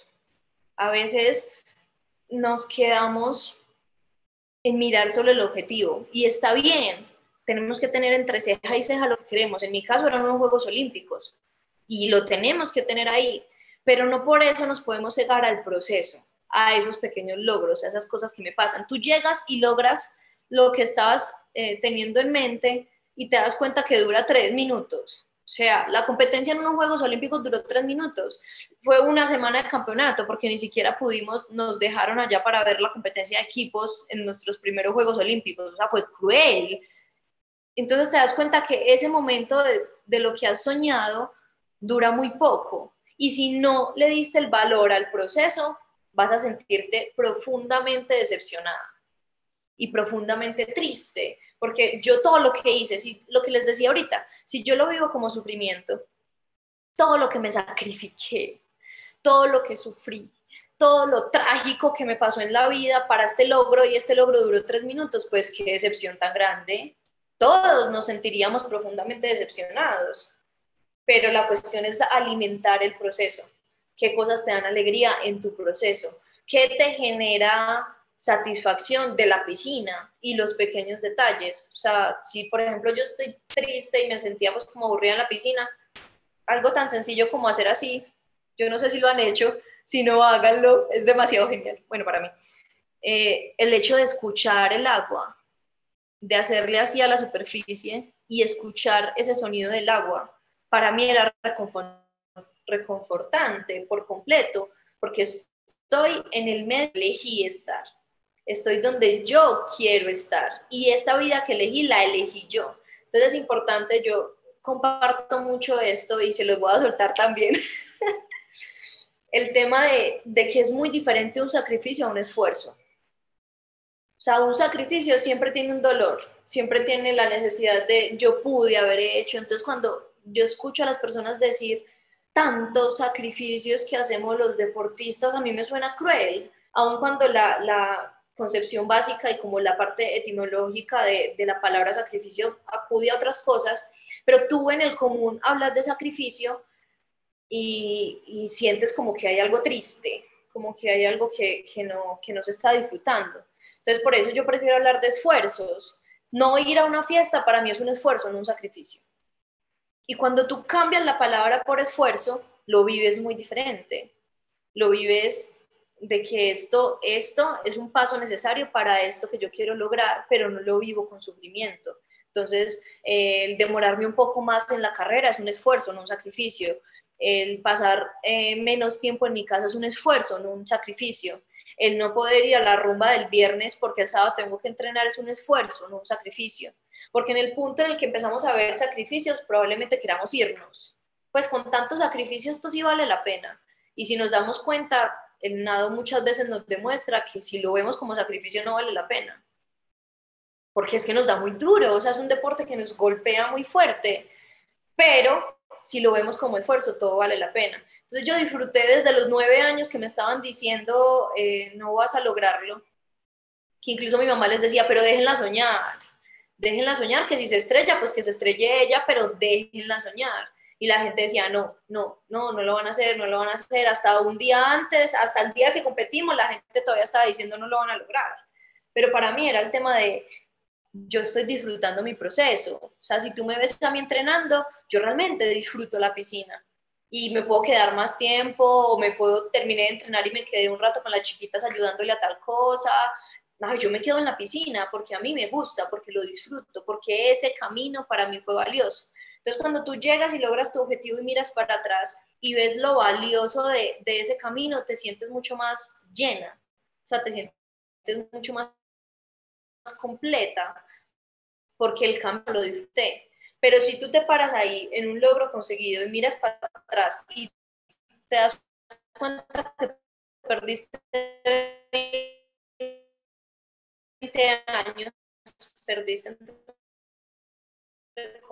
comillas, 20 años de tu vida porque todo lo viste como sacrificio, porque todo lo viste de una manera trágica, probablemente ese haber logrado, ¿no? como, o sea, no vas a sentir que te abrazan, no lo disfrutas. Entonces es mucho, un poquito a cliché el tema de si tú disfrutas cada día, aún con las lloradas, yo no quiero que lo vean como un montón de maripositas y flores, aún con las rabias, con, con las lloradas, con los dolores, con el no puedo con mis brazos, ya no puedo ni con mi ni con mi esencia, ya no puedo ni con las ganas de vivir, aún con eso disfrutarlo, aún cuando te digan vamos a hacer seis completos de dúo libre, que tú te rías y digas, pues bueno, me va a morir, pero pues hagámosle, que sea un reto, porque después lo logras y dices, fue madre, salí viva, contra todo pronóstico salí viva y eso te llena pero verlo así, o sea, verlo con buena energía, verlo disfrutándolo, verlo riéndote, no sin que haya lágrimas,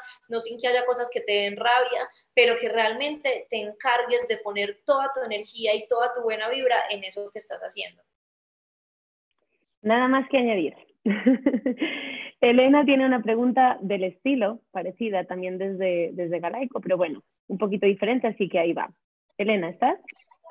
Sí, hola. Bueno, mi pregunta es, cuando tenías momentos malos y querías abandonar, ¿qué fue lo que te motivó a continuar? Ay, quiero contarles una historia. Bueno, a mí me gustan las historias. En el 2011 yo renuncié a la selección Colombia. Eso implicaba perder la oportunidad de un clasificatorio a Juegos Olímpicos, que eran los de Londres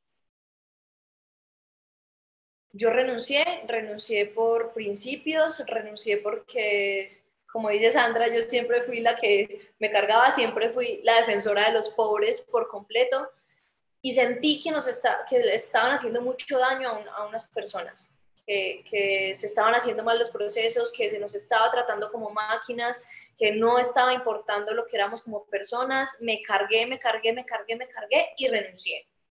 Esa fue mi decisión. Después me di cuenta que iban a llevar, que nos iban a llevar, pero yo ya no estaba en el, dueto, pues yo ya había renunciado a la selección, que nos iban a llevar a los Juegos Olímpicos de Londres, pues al clasificatorio. Lloré lo que no está escrito, grité lo que no está escrito, intenté pelear como si no hubiera un mañana, pero era mi decisión. Y era algo que yo tenía que asumir y yo tenía que recordarme todo el tiempo la razón por la que lo había hecho, porque era más una razón personal que deportiva. Era más una razón de no estar de acuerdo en cómo se hacen las cosas que por, por temas deportivos. Yo estaba en el equipo, estaba bien, tenía buenas relaciones, pues todo estaba muy bien, pero no estaba de acuerdo con las cosas que estaban haciendo con mis compañeros. Esa fue mi, mi, mi razón por la, que, por la que renuncié. Y en ese punto yo dije, mando todo esto a la miércoles, o sea, ya no quiero saber de este deporte, tenía mucha rabia, mucha, mucha rabia. Renunciamos varias a la selección Colombia, no fui yo sola, eh, pero tenía mucha, mucha rabia y no quería mi deporte. ¿Cuál fue mi decisión? No voy a irme de este deporte odiando algo que he amado toda la vida. Así de sencillo. Si esto me ha dado tantas alegrías, si esto me ha dado eh, como tantas oportunidades, si yo lo he disfrutado tanto, ¿por qué me voy a ir odiándolo? Ah, estaría hoy hablando más del deporte, eso es una miércoles, esto, esto, esto, aquello, es injusto y lo es, pero pues es el deporte que amamos. O sea, ¿qué nos ganamos con pelear y con pelear si es algo que amamos? Pero esa fue mi decisión. Decir, no voy a irme odiando algo que amé toda la vida. Y así poquito a poco volví a entrenar, volví a entrenar en el departamento, me quedé ahí como, como sin tantas ganas, pero sabiendo que mi objetivo estaba claro y era que una vez me sintiera tranquila con el deporte y sanara todo lo que tenía que sanar, me iba. Obviamente sané todo y ya que había sanado todo y que estaba enamorada de nuevo de mi deporte, pues no me iba a ir.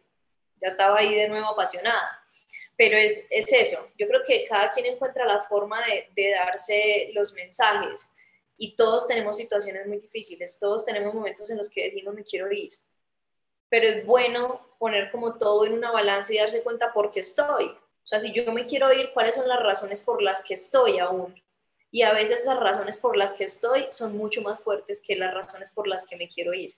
Entonces, mirar, y a veces no lo son, porque también se vale también se vale decir, las razones por las que estoy aquí no son tan grandes como las razones por las que me quiero ir. Si yo me quiero ir porque voy para otro lado, porque voy a cumplir otro sueño, porque voy a hacer, voy a hacer, voy a hacer, y esto me llena, estas razones que me amarran a este deporte no son tan fuertes, porque también se vale, pero es una decisión muy personal, darte cuenta y sentir, permitirse sentir. A veces nos quedamos en la cabeza y la cabeza es la loca de la casa. Pensar, pensar, pensar, pensar, es muy complicado, pero cuando nos permitimos sentir, darnos cuenta cómo está mi cuerpo en, esa situación, cómo está mi cuerpo en el deporte, cómo me siento, cómo estoy, qué, qué, qué sensaciones tengo a nivel corporal y qué tengo en mi corazón. Es muy importante ver eso porque a partir de ahí puedes tomar decisiones que no te hagan arrepentir después que no te hagan decir, ah, yo por ponerme ahí de racional y mentiras que yo me quería quedar, o decir todo esto que me quedé y mentiras que yo me quería ir. Entonces es importante conocernos y darnos cuenta qué emociones están vinculadas a mi deporte y si realmente eh, quiero quedarme ahí y continuar. Imaginaros, chicas, a veces por mucho menos una tira la toalla, una se rinde y esto es una vez más una muestra de lo luchadora y de lo guerrera que es esta, esta persona que tenemos aquí con nosotras. Así que os animo a aprender de esto, porque de verdad que si ella hubiera renunciado en ese momento a la sincro, no a la selección como renunció en ese momento, sino a la sincro, no hubiera ido a unos olímpicos nunca. Y ella lo consiguió, su sueño desde los nueve años. Así que chicas, Nada más que decir, yo creo que lo está diciendo todo, así que no voy a destrozar las palabras tan bonitas que ha dicho Moni. Venga, tenemos otra vez a, tenemos dos preguntas relacionadas, así que te hace una pregunta en español, luego otra en portugués y ya tú ahí respondes a las dos, ¿sí? Primero tenemos a Daniela desde Galaico, eh, desde, desde Pontevedra. Dale, Dani.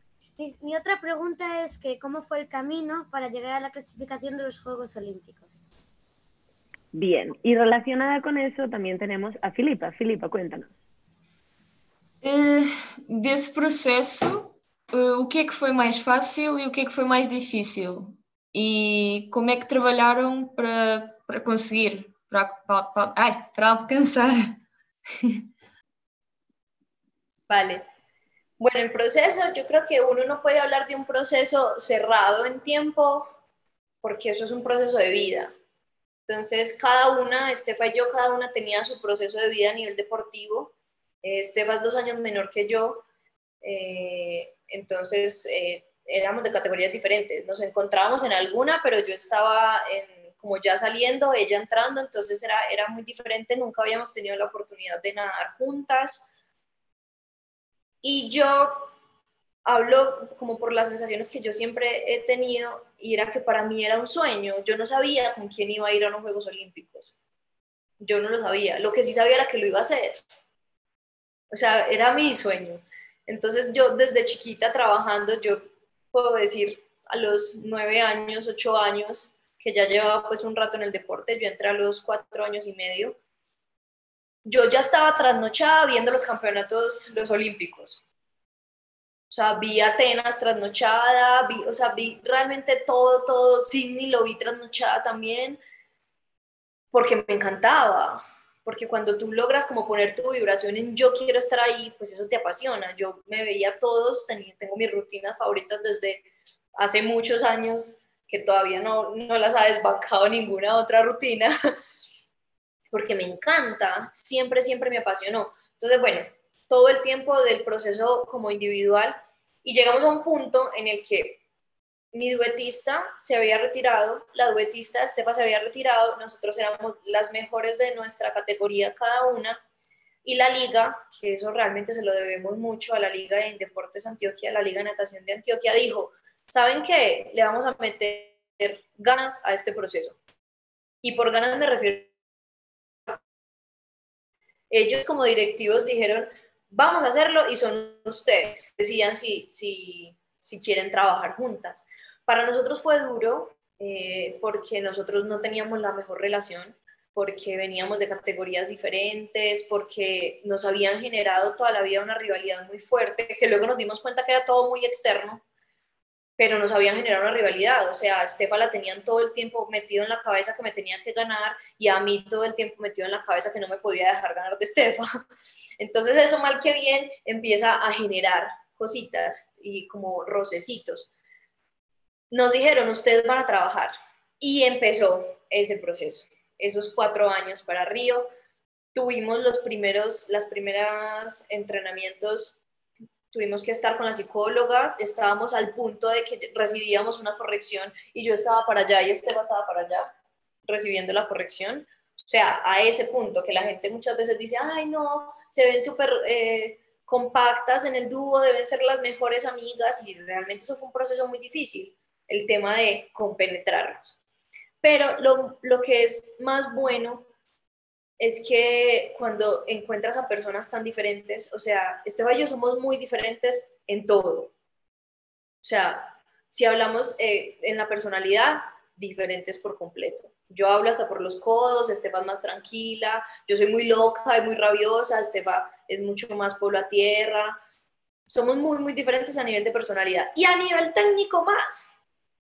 Esteban tiene una capacidad muy bonita para los brazos, yo no tanto, lo mío son las piernas, lo de Esteban no tanto, entonces muy diferente el tema de lograr compaginar, o sea, es que hay muchas rusas que lo tienen muy fácil, esa gente todas igual, todas tú las ves y es como, hombre, son igualitas, son hechas para esto, pero nosotras no, sobre todo eh, todo el tema de Latinoamérica, nosotros tenemos un biotipo muy diferente, entonces, claro, incluso mi tren superior más, más eh, grueso que el de Estefa, el tren inferior de Estefa más grueso que el mío, o sea, literal, o sea, si usted lograra encontrar algo diferente del todo, probablemente se asemeja a lo que éramos nosotras antes de, este proceso.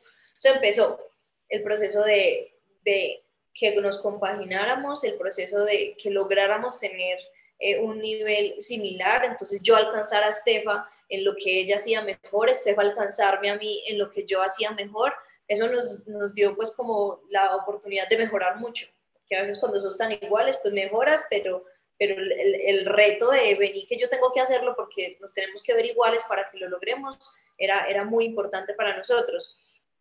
Entonces empezamos a entrenar altos y bajos, los que quieras, muchos más bajos que altos, o sea, yo creo que el único alto, realmente alto de ese ciclo fue la clasificación, porque nosotros hicimos golpe tras golpe, golpe tras golpe, y nos daba una, una pues nos sentía muy complicado muchas situaciones del nado. Llegaron los, eh, las españolas.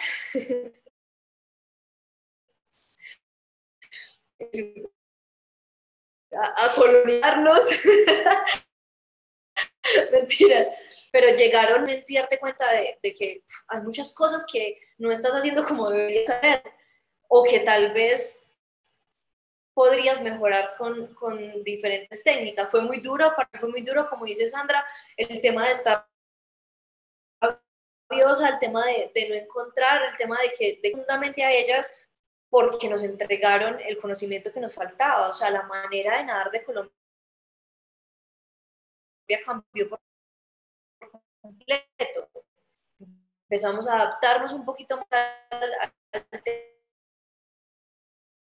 importancia alguna, pero que eso daba un cambio muy significativo en, en como en, en, el momento de, de la competencia y de la ejecución.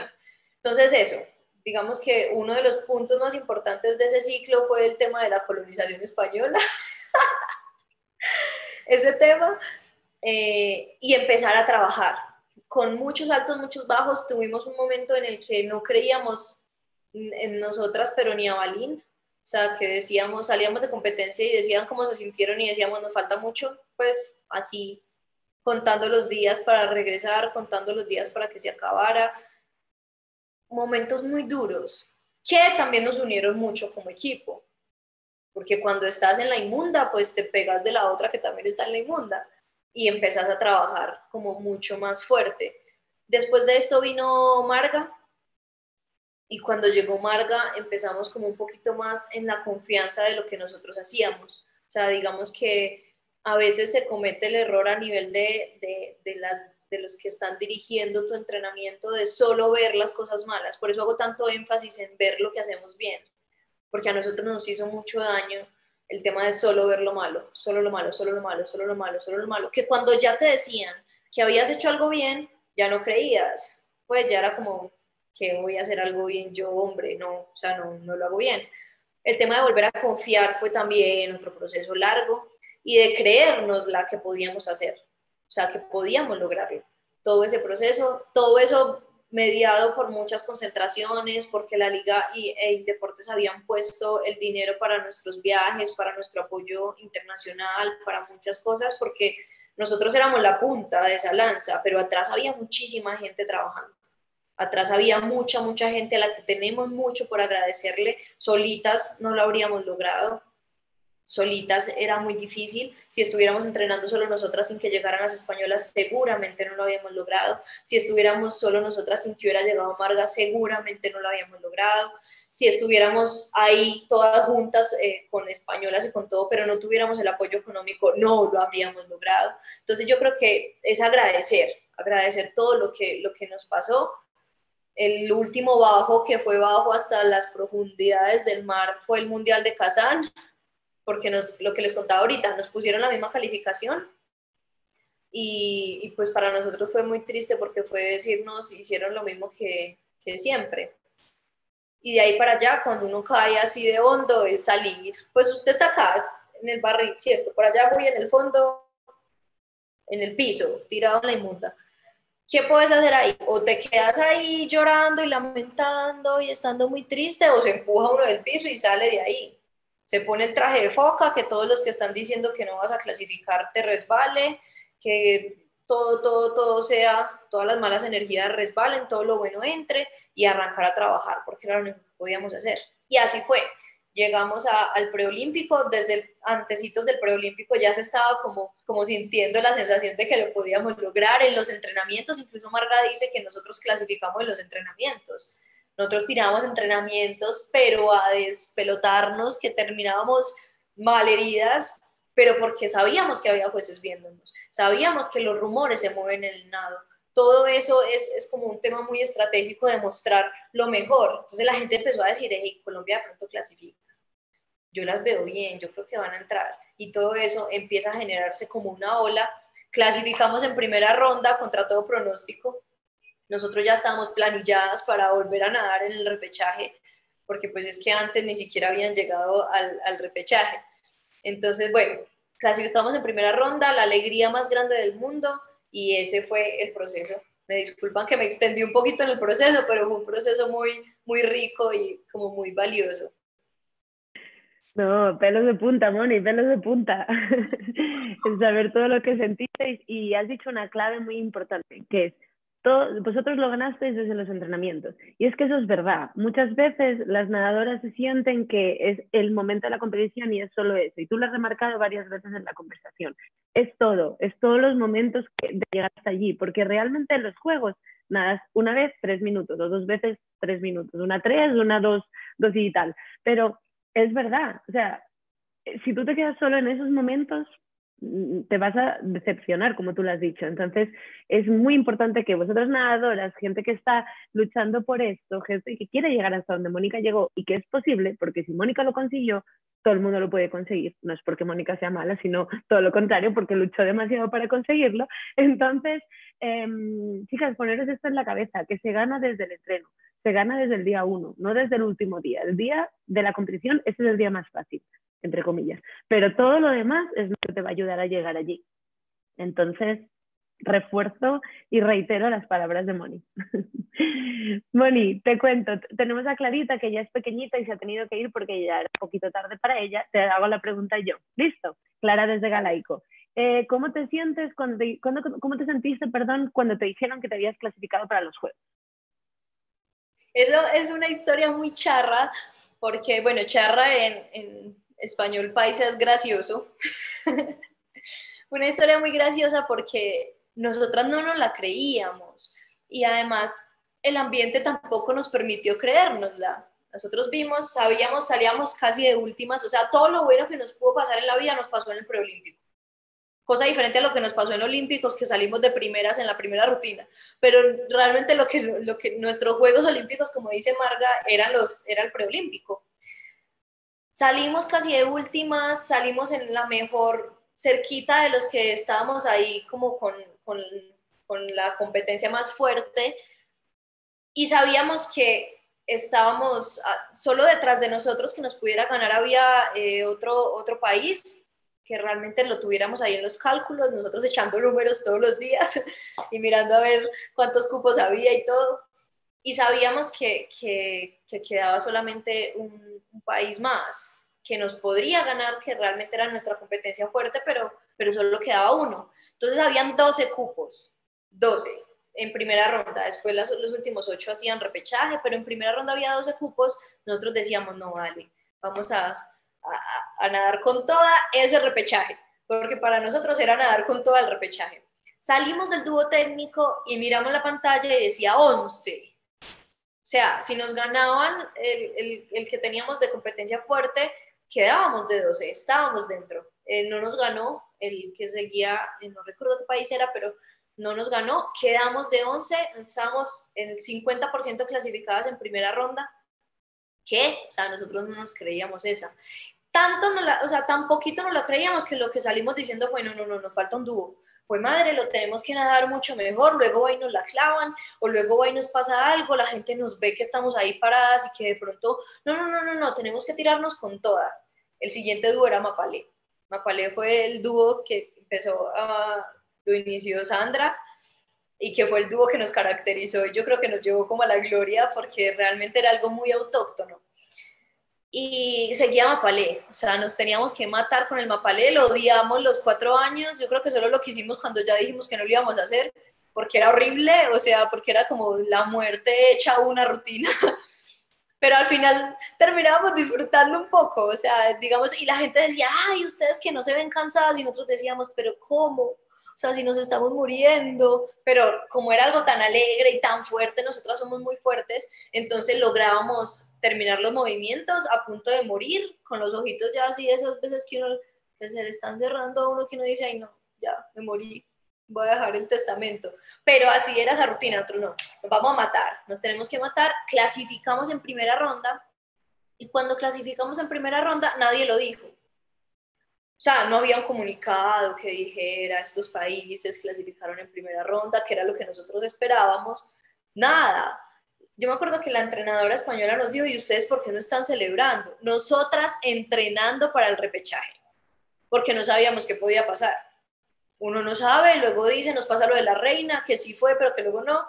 No. Entonces nosotros seguíamos entrenando y la gente decía, pero ustedes qué hacen en la piscina, váyanse a pasear. Nosotros veíamos a Israel, que era el 12, con pava, disfrutando río, y nosotros decíamos, no, no, no, no, uno no sabe, luego nos ponen a nosotros a nadar repechaje, entrenemos, entrenemos, y íbamos nosotras entrenando, las españolas decían, pero ¿cómo si ya clasificaran?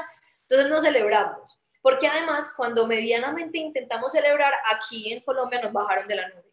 como ustedes porque están cantando victoria hasta que no digan el comunicado y nosotros como dentro de esas personas que decían no van a hacerlo, entonces generar eso y nosotros nos quedamos como, uy, qué susto. A mi hermana le hicieron borrar la publicación de Facebook que había dicho que se sentía orgullosa, se le hicieron borrar porque no sabíamos.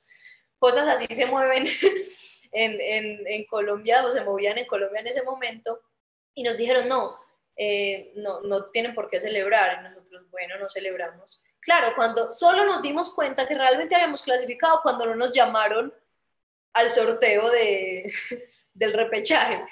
Y eso fue el día antes de que se nada el repechaje o ese mismo día. Ahí dijimos, ah, si no estamos en el repechaje, seguramente es que sí clasificamos. Ese fue el proceso, nosotros habíamos armado los planes, yo no suelo tomar licor, pero habíamos dicho que nos íbamos a emborrachar hasta perder la memoria, que eso íbamos a hacer de todo, que no sé qué, cuál, no hicimos nada. Pues yo igual de todas formas me iba a hacer la boba con lo de la emborrachada, pero ni siquiera fiesta hicimos.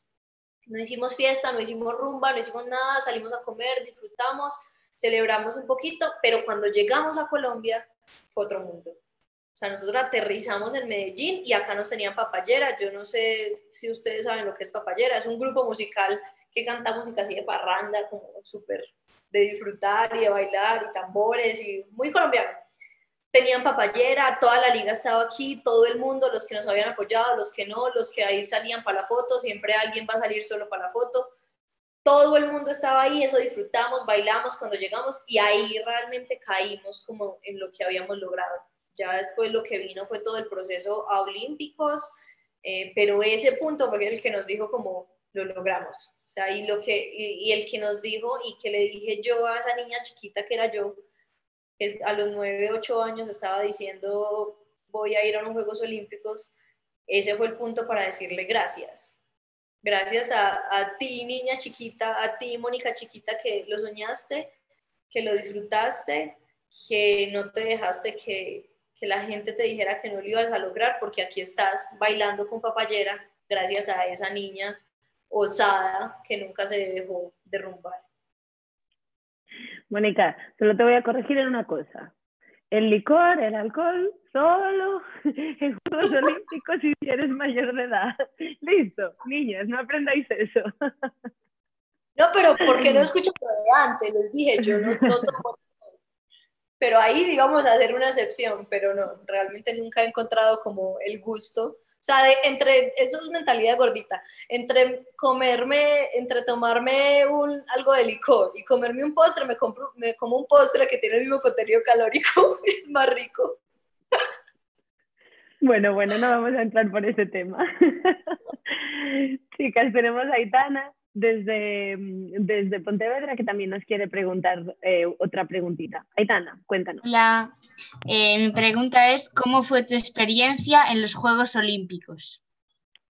Yo creo que la experiencia de recoger, la experiencia de, de agradecer todo el tiempo, de estar entre, o sea, de estar viendo a los mejores, pero no solamente verlos, sino que estás dentro de los mejores que eso es algo que llena mucho. O sea, no es que yo esté aquí viendo a Phelps, que esté viendo a Bolt, que esté viendo a, yo qué sé, a Simon Biles, que esté viendo a toda la gente tan top, que esté con Katherine Ibargo en el apartamento porque nos pasó, entonces nos tocó la medalla olímpica de Kate, que viéramos a todos los, los, la gente más tesa del mundo, no solamente era eso, sino estar ahí. O sea, todos los que estábamos ahí habíamos pasado muchas cosas para lograr esa clasificación. Por eso todo el tema de los valores olímpicos, por eso todo el tema en que te entreguen un diploma y que sea como un, pues como un título real el tema de ir a los Juegos Olímpicos, porque como les decía ahorita, es que no es estar ahí, es todo ese proceso que se tiene que vivir para estar ahí. Entonces era recoger, es la gloria. O sea, todo te lo dan, es una cosa impresionante, como que las marcas están esperando a que eso llegue, entonces nos dieron celular, audífonos, que esto por aquí, que el termo allá, que no sé qué, que todo, todo, en toda parte encontrábamos regalos, encontrábamos algo que, que nos entregaban, el hecho de comer con todo el mundo, de estar en la villa, las instalaciones de la villa, todo, todo lo que era, es que era espectacular, espectacular el tema de los aros en medio de la instalación de la villa, las fotos, el salir a, a, conocer, que todo era precioso, toda esa experiencia se mueve realmente a nivel de sentimientos mucho, mucho, mucho más fuerte. El tema de la competencia es la misma piscina, es la misma rutina. Obviamente mis papás y mi familia, mis hermanas con sus esposos y mis papás fueron, hicimos el, el ahorro pues y el esfuerzo de que fueran a Río. Entonces ellos estaban en la tribuna, sentir eso, ver a mi mamá llorando, a mi papá con gafas oscuras haciéndote el que no había llorado cuando también estaba llorando, la emoción de mis hermanas y, y como el darte cuenta, el agradecer tu familia, porque los procesos no se hacen sola y la, el primer gran apoyo es la familia. Y, yo tuve una familia, yo creo que de la, familia, la mejor familia para el, para el tema deportivo, una familia que apoya, que no se intromete mucho, pero que está ahí todo el tiempo. Eh, mi mamá que era la barra oficial de todo, la que llevaba el tambor, la que gritaba, la que hacía las porras, todo. Entonces es eso, el, el, el tema de, de, darte cuenta que estás ahí por un trabajo de toda una vida no estás ahí por el tema de que competiste muy bien el dúo técnico y el dúo libre, no. Tú estás ahí porque trabajaste toda tu vida con eso entre ceja y ceja, con la mentalidad de que, de que lo ibas a lograr. Esa fue la experiencia en juegos. Disfrutar, llorar y sentirse muy triste cuando nos dijeron que, que nuestro vuelo, eh, que como ya habíamos terminado de competir, nos iban a devolver y no pudimos ver los equipos. O sea, nos tocó verlo como cualquier otro en el televisor de la casa no pudimos ver la competencia de equipos. Mis papás y toda mi familia todavía estaban en Río cuando yo ya estaba en Medellín. Pero bueno, hay cosas buenas, cosas malas, pero, pero esa, esa sensación de estar ahí compitiendo en lo que soñaste toda la vida, yo creo que no lo cambia, no lo cambia por nada. Qué, qué, emoción nos transmites y de verdad que casi que estamos en Río viviendo contigo. Qué pena por esos equipos que me imagino que sería vuestro sueño también poder ver a los equipos en directo, pero bueno, como siempre, hay piedras en el camino y lo importante es superarlas. Filipa nos tiene otra pregunta desde Portugal. Venga, despacito, a ver si se entiende bien. Um, ao longo da tua carreira profissional, eh, tiveram sempre os apoios necessários para chegar à qualificação olímpica? No, nunca. pues realmente nosotros tuvimos el apoyo ese ciclo, esos cuatro años del ciclo. Y fue un apoyo departamental, no era un apoyo a nivel nacional, no era algo como que tuviéramos, como, como que ellos tuvieran la obligación de hacer, no, un apoyo departamental y, por eso yo creo que también eh, el éxito estuvo ahí, o sea, la liga y el departamento siempre fue muy pendiente de decir, necesitan ese viaje, háganle, vayan. La responsabilidad era muy grande porque el montón de plata que habían invertido en nosotros y salir con que no lo logramos, pues bueno, pero ellos tenían mucha fe y nos habían eh, patrocinado pues como todos esos viajes. Los apoyos después, o sea, ese ciclo fue muy departamental. Eh, puedo decir que eh, a nivel nacional las entidades aparecieron solo después de la, de la clasificación, porque realmente lo hicimos fue eh, con el departamento. Eh, después de la clasificación y después de nuestra competencia en Río, sí salieron muchos apoyos, sobre todo los apoyos económicos, que antes no los teníamos. Entonces, apoyo del Estado para nuestro deporte, eh, los patrocinadores, pues eso dispara un montón de de apoyos, no solamente en dinero, sino también en dotaciones, entonces empiezas a tener un poquito como más de, de, ese, de esa fama top de deportista que realmente es, es muy efímera, pero, pero ya la gente te conoce, ya las marcas quieren apoyarte y todo eh, de esa manera. Pero aún así el ciclo después de Río no lo hicimos de la misma manera porque los apoyos no eran los mismos. Como la liga ya no estaba, pues ya, nosotros, ya la liga nos había entregado, digamos, al tema nacional y el tema nacional mueve muchas cosas. Entonces el tema nacional es, es, es, muy difícil por los apoyos, porque es mucha gente, porque no hay dinero suficiente. Entonces este ciclo no lo hicimos con los mismos viajes, eh, no tuvimos las mismas concentraciones porque era, era más difícil. Pero como te digo, poquito a poco han tenido eh, más ingresos los deportistas colombianos porque antes se podía decir que solo había fútbol. O sea, el apoyo económico solo era para fútbol y le pasa a muchísimos países. Y poquito a poco eh, se han tenido más apoyos eh, a, nivel, a nivel de la nación. Nosotros tenemos un ciclo olímpico muy, muy amplio. Nosotros, mientras, yo no sé, ustedes tendrán Juegos Europeos para hacer la clasificación a Olimpiada. Bueno, no, no tienen tampoco tenemos el, el, Campeonato de Europa. O sea, tenemos campeonatos de Europa eh, que son cada dos años intercalados con el Campeonato del Mundo. Ah, vale. Nosotros tenemos un ciclo olímpico muy extenso. Entonces tenemos Juegos Bolivarianos, que son todos los países eh, que tuvieron eh, que, relación con Bolívar. Tenemos Juegos Centroamericanos, tenemos Juegos Suramericanos, tenemos Juegos Panamericanos, que es en donde el, se juega el cupo el, primer cupo para, para clasificar a las Olimpiadas y Juegos Olímpicos. Somos muy afortunadas en ese sentido. Entonces, conforme vas ganando, vas teniendo eh, como cierta remuneración, sobre todo remuneración económica. Entonces, oro en Juegos Bolivarianos, hay un dinero para ti, que eso antes no se veía de esa manera. Entonces, obviamente los que ganan en Juegos Olímpicos se ganan un montón de, de dinero pero en los pequeños eh, campeonatos del ciclo eh, los encuentras. También tenemos suramericanos y que no son parte de juegos, pero los juegos son, hasta de cuenta, unos Juegos Olímpicos, pero de Centroamérica, unos Juegos Olímpicos, pero de toda América, de Suramérica solamente, entonces se vive así. Entonces digamos que encuentras un apoyo, digamos, un poquito más de motivación en todo ese ciclo.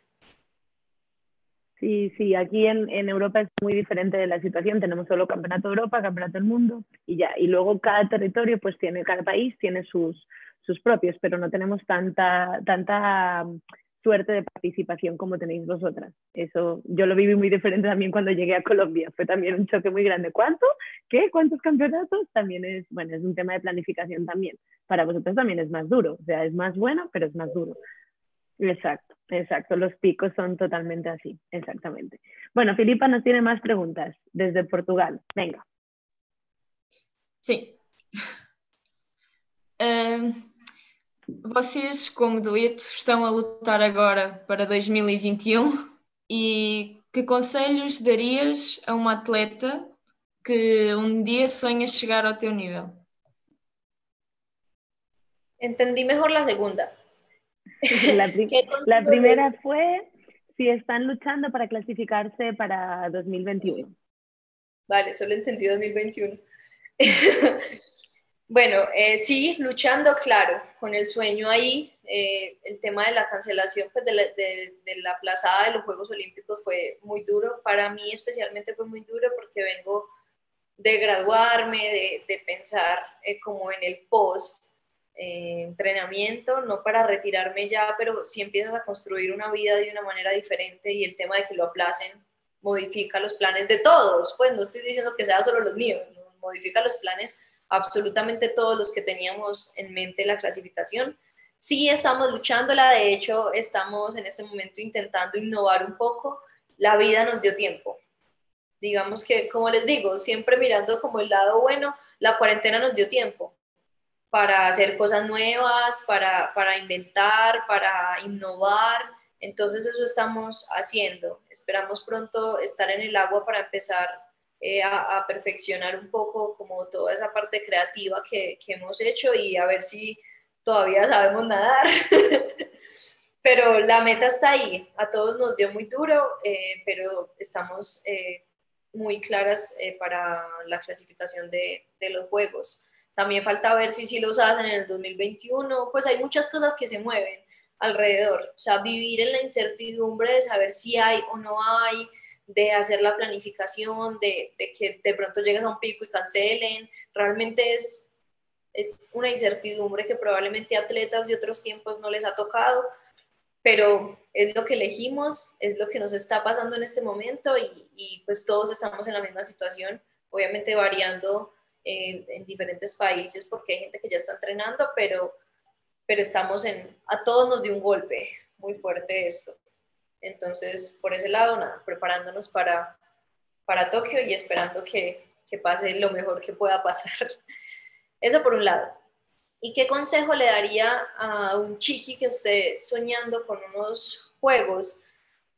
que no permita que le digan que no es capaz. O sea, te lo van a decir siempre, te lo van a decir siempre, pero no dejes que eso entre y que logres entender que si ese es un sueño que está anclado a tu esencia, que está anclado a tu ser, que realmente lo quieres, que es mi sueño, no el sueño de mi papá, no el sueño de mi mamá, no el sueño de mi tía, no el sueño de mis abuelos, que es mi sueño. Entender que cuando es mi sueño soy yo quien, quien está ahí para trabajar por ese sueño. Entonces, invitarlos a eso, a que se den cuenta si ese sueño está anclado a su esencia, si ese sueño está anclado a su ser y si respiras por ese sueño y de ahí para allá trabajar. Nos vamos a caer muchas veces, muchas como en la vida, o sea, no es una cuestión solo del deporte, en la vida nos caemos también muchísimas veces, pero es cuestión de volvernos a parar y, y de disfrutarlo, de disfrutar la caída nunca se disfruta, uno cae y pues llora, pero disfrutar el proceso de aprender, disfrutar esos aprendizajes, agradecer profundamente a cada persona que la vida te cruza, porque todos tienen algo que enseñarte, todos tienen algo que mostrarte y, y eso es muy importante. Y disfruten, ríanse, pasen bueno, porque cuando uno pasa bueno el dolor se disminuye un poco, aunque igual va, va a existir, que lo vivan todo como un esfuerzo y no como un sacrificio y que aprendan y que estén muy pendientes de disfrutar el camino para que cuando lleguen a ese objetivo se den cuenta que todo realmente valió la pena. Bien, yo creo que Filipa es una de esas eh, que también siempre le han dicho que no, siempre sí, se identifica mucho contigo, Moni. Entonces es como que, que, bueno, ella también lo siente un poquito en su carne propia. Filipa nos tiene obviamente más preguntas, así que dale, Filipa, sin miedo.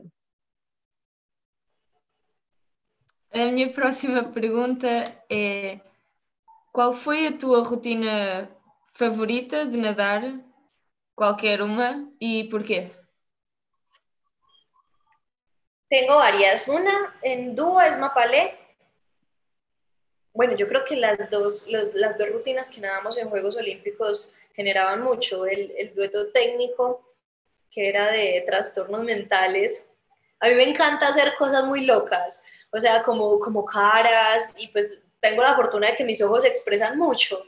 Entonces tú ves un solo mío y siempre tengo, esas caras o modulando, cosas así como muy locas y así era el dúo técnico para Río. Y el mapalé lo disfrutábamos mucho porque aunque como les dije ahorita lloraba, o sea, el cuerpo lo sufría, el cuerpo tenía ese dolor tan fuerte, eh, era disfrutar, era reír, era mostrar, entonces eso, eso me, me gustaba mucho. Eso en cuanto a las rutinas de dueto. En cuanto a los equipos, eh, pues tengo varios que me han gustado bastante, sobre todo en los que descubrimos cómo hacer buenas elevaciones. me encantaba cuando descubrimos que, que podíamos hacer banquines, que, que, podía yo saltar y hacer cosas así como yo soy muy ágil en el aire, entonces también como hacer cosas así, esos equipos me, me, me encantaban. Y de solos, tengo dos favoritos. Eh, dos muy similares, como con un tema muy similar, y fue uno que hice en 2012, que era, pues, o sea, con decirles que el, el, la primera parte de la, de la rutina era una puerta que sonaba abriéndose y unos pasos como todos tenebrosos, y así era toda la rutina. O sea, yo estaba ahí como medio poseída y eso me encanta. O sea, el tema de transmitir de las arañas, de que sea algo como súper miedoso, como que la gente se angustie con vos y que vos mires a los jueces y vos estés como... A mí eso me encanta, porque ellos podrán disimular una sonrisa, pero no pueden disimular los ojos de, tragedia cuando uno los está mirando así súper tenebroso. Eso me gusta mucho. Y me gustan mucho los, los solos técnicos, porque realmente los, los disfruto, porque me gusta mostrar los elementos y porque me gusta agregarle mucho. Entonces, me encanta el solo técnico porque es solo piernas, porque como es tan cortico, hace uno como dos, tres brazos y el resto puras piernas y por eso lo disfruto. En el solo libre hay que meterle un poquito más de brazos porque si no nos morimos. Esas son mis, mis rutinas favoritas. Bueno, una respuesta extensa para, para Mónica que no nos, no nos sorprende. no de bromas, Mónica. Eh, Filipa también tiene más preguntas que tampoco me sorprende. Es un poquito bien a lo mismo. Así que dale, Pi. É a última. Se tivesses de escolher um momento, seja competição ou treino, que te marcou como atleta, qual é que seria esse momento? Tengo muchos, pero tengo uno súper reciente que quiero compartirles. Y fue una penalización en el campeonato más importante de Colombia. Una rutina, el solo técnico, que nadie dudaba, o sea, que era como de esas competencias que ya nadie quiere ver porque saben quién va a ganar. Hice medio, era una piscina horrible, o sea, trágica, de esas que tú miras para allá y no ves nada y para allá tampoco y que nos encontramos basura en el, en el piso, pues una cosa súper horrible porque no la habían terminado, o sea, no había terminado pues como el proceso de limpieza. Y me perdí en el, en el elemento técnico de los giros, hice medio más, yo creo que esa es la única que penalizan por hacer más. la gente, a la gente le falta medio, ¿no? Pero a mí Hice medio más, me penalizaron, perdí la medalla. Y me marcó no solamente por, por el tema fuerte de esa penalización y de, y de la sensación de, de por qué, si era una rutina, esa era la rutina a la que yo menos le temía. O sea, para mí la, la, más fuerte y la que más me generaba angustia era el solo libre, del resto el solo técnico para nada. Entonces, claro, fue esa sensación. O sea, y lo que me marcó más era que después, una hora, dos horas, tres horas, no sé cuánto después, era el equipo. Era el equipo técnico. Entonces yo no podía llorar como quería llorar. O sea, tuvimos un tiempo de llorarlo, de decir, pucha, ya pasó, pero yo tenía que estar para mi equipo. O sea, yo no podía simplemente estar ahí llenando mi espacio, yo tenía que estar para mi equipo, porque yo siempre he sido muy líder, porque siempre he sido de ven, hagamos no sé qué, pendientes, no sé qué. Entonces yo tenía que estar para mi equipo. Entonces fue el tema de, ya, llorar el poquito que pude llorar, cambiar el maquillaje, organizarme y vamos que mi equipo me necesita. Hicimos la competencia de equipo, competimos súper, súper bien terminamos la competencia de equipo y ahí sí ya pude llorar todo lo que quería llorar, o sea, todavía se me, se me ponen rojos los ojos, porque realmente era, o sea, fue muy fuerte, fue muy fuerte. Yo creo que son de esos aprendizajes que uno no quisiera tener, de esos aprendizajes que a los que uno no quisiera enfrentarse, pero ahí están, ahí están, entendí muchas cosas, agradecí que me pasara, agradecí como para anclarme un poquito más a, mi intuición. O sea, yo antes de esa competencia tenía muchas sensaciones a nivel de intuición que no escuché y que pude haber hecho algo, pero, pero no lo escuché. Entonces, eh, un aprendizaje para, para, para la vida, un aprendizaje muy duro. Yo creo que los aprendizajes más grandes se dan es cuando nos caemos. O sea, esos momentos, si yo te digo que me marcó el momento en el que clasificamos, tal vez, pero realmente marcan mucho más los momentos en los que tienes aprendizajes fuertes. Y ese que ha sido el más reciente, el aprendizaje más grande y el más reciente que tengo en este momento fue el, el tener que estar para alguien más, en este caso mi equipo, cuando ni siquiera tú estabas para ti. Muy fuerte, pero bueno, la libramos, salió todo, eh, salió la rutina muy bien y ya después yo pude llorar toda la noche, que era lo que quería hacer. Mónica, qué, qué, momento y además lo vivimos juntas de nuevo. fue, fue durísimo y si no lo contabas tú, lo iba a contar yo, porque lo que saco de esa experiencia no es el cómo pasaste tú, que ni me lo puedo imaginar, o sea, el momento en que tú viste realmente el puntaje, bueno, estábamos todos ahí presentes los que estábamos y fue demasiado duro, pero lo que yo resalto siempre, y la historia me cuentan, me están escribiendo por privado, esta historia ya nos la, ya nos la has contado, esta historia, lo que yo cuento siempre es que tú supiste estar para tu equipo, que tú eres la capitana del equipo, eres la animadora del equipo, la que lleva el equipo para, el equipo para adelante y, estuviste. Estuviste y vaya si estuviste. Además, eh, todas nosotros no sabíamos bien bien cómo tú ibas a reaccionar y estábamos un poco todas así a la expectativa y, y fuiste, fuiste muy grande, Mónica, fuiste muy grande sobreponiéndote a esta situación que era lo que nadie se esperaba lo que nadie imaginaba, lo que todo el mundo daba por sentado, evidentemente, y tuviste la capacidad de, autosuperación. Entonces, esta es una cualidad que tú no has dicho y yo la quiero, la quiero repetir en ti, porque tú eres una persona que se autosupera día a día. Y en ese día, demasiado autosuperación, Mónica te lo agradecemos inmenso, tanto Sara como Caro como yo que estábamos ahí de Naveras Tuyas, eh, te lo agradecemos inmenso porque estuviste para tu equipo. Y eso es una cualidad muy importante, saber estar no solo para ti, sino para los demás. Y luego ya hiciste tu, tu luto, ya hiciste tu momento, pero es, en ese momento estuviste ahí. Así que desde parte técnica que estaba allí, gracias, gracias. Solo era un ayudante, pero gracias por todo aquello que nos aportaste. Gracias a ti. Ay, venga, Candela, vamos a la última pregunta. Candela, desde Vigo, cuéntanos. Eh, ¿Cuál crees que es el reto que todavía te queda por cumplir? Tengo un reto que es muy grande y es lograr un solo que me llene por completo. Es lograr que yo vea el video de la rutina y diga muy bien, o sea, hace rato yo creo que me puede tardar toda la vida. Pero bueno, realmente el enfoque que hemos tenido todo este tiempo nunca ha estado en el solo, o sea, nunca ha estado como, como en desarrollarlo y, y es algo que quiero hacer. O sea, como después de este, de este ciclo, intentar salir como de esa mejor manera, porque ya veo como la necesidad de entregar, de devolverle al nado y eso implica que esté mucho más parada en mi labor de psicóloga que en mi labor de atleta. Pero siento que, que, ese es el reto que yo, o sea, no me voy sin cumplir.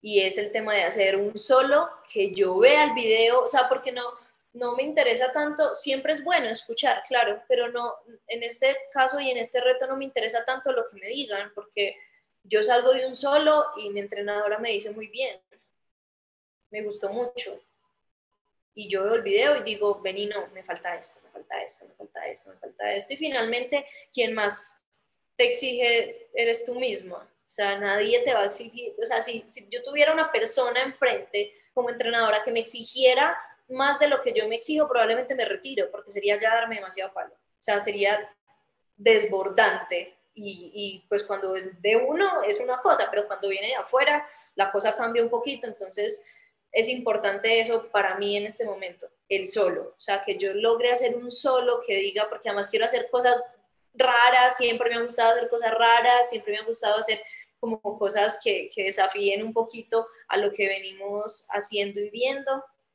Entonces quiero hacer eso, quiero eh, tener ese video y decir, ¿sabes qué? Después de esta rutina, como me sentí tan bien, me retiré, porque ya sentía que tenía que estar en otro lugar superar, o sea, satisfacer mi expectativa y mis, mis como lo, la dificultad que yo me pongo y como todo ese tema de, enfrentar a, a, mis exigencias, mis propias exigencias, esa es la palabra.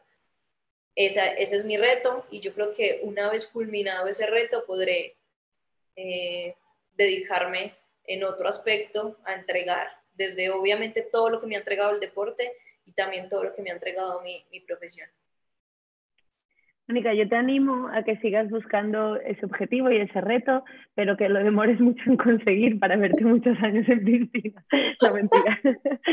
No, mentira. Y sabes que quiero contar otra experiencia que, que, que, de, tantas, de tantas muchas yo he podido vivir contigo, y es eh, el momento del solo libre. ¿O lo quieres contar tú? Cuéntalo, cuéntalo.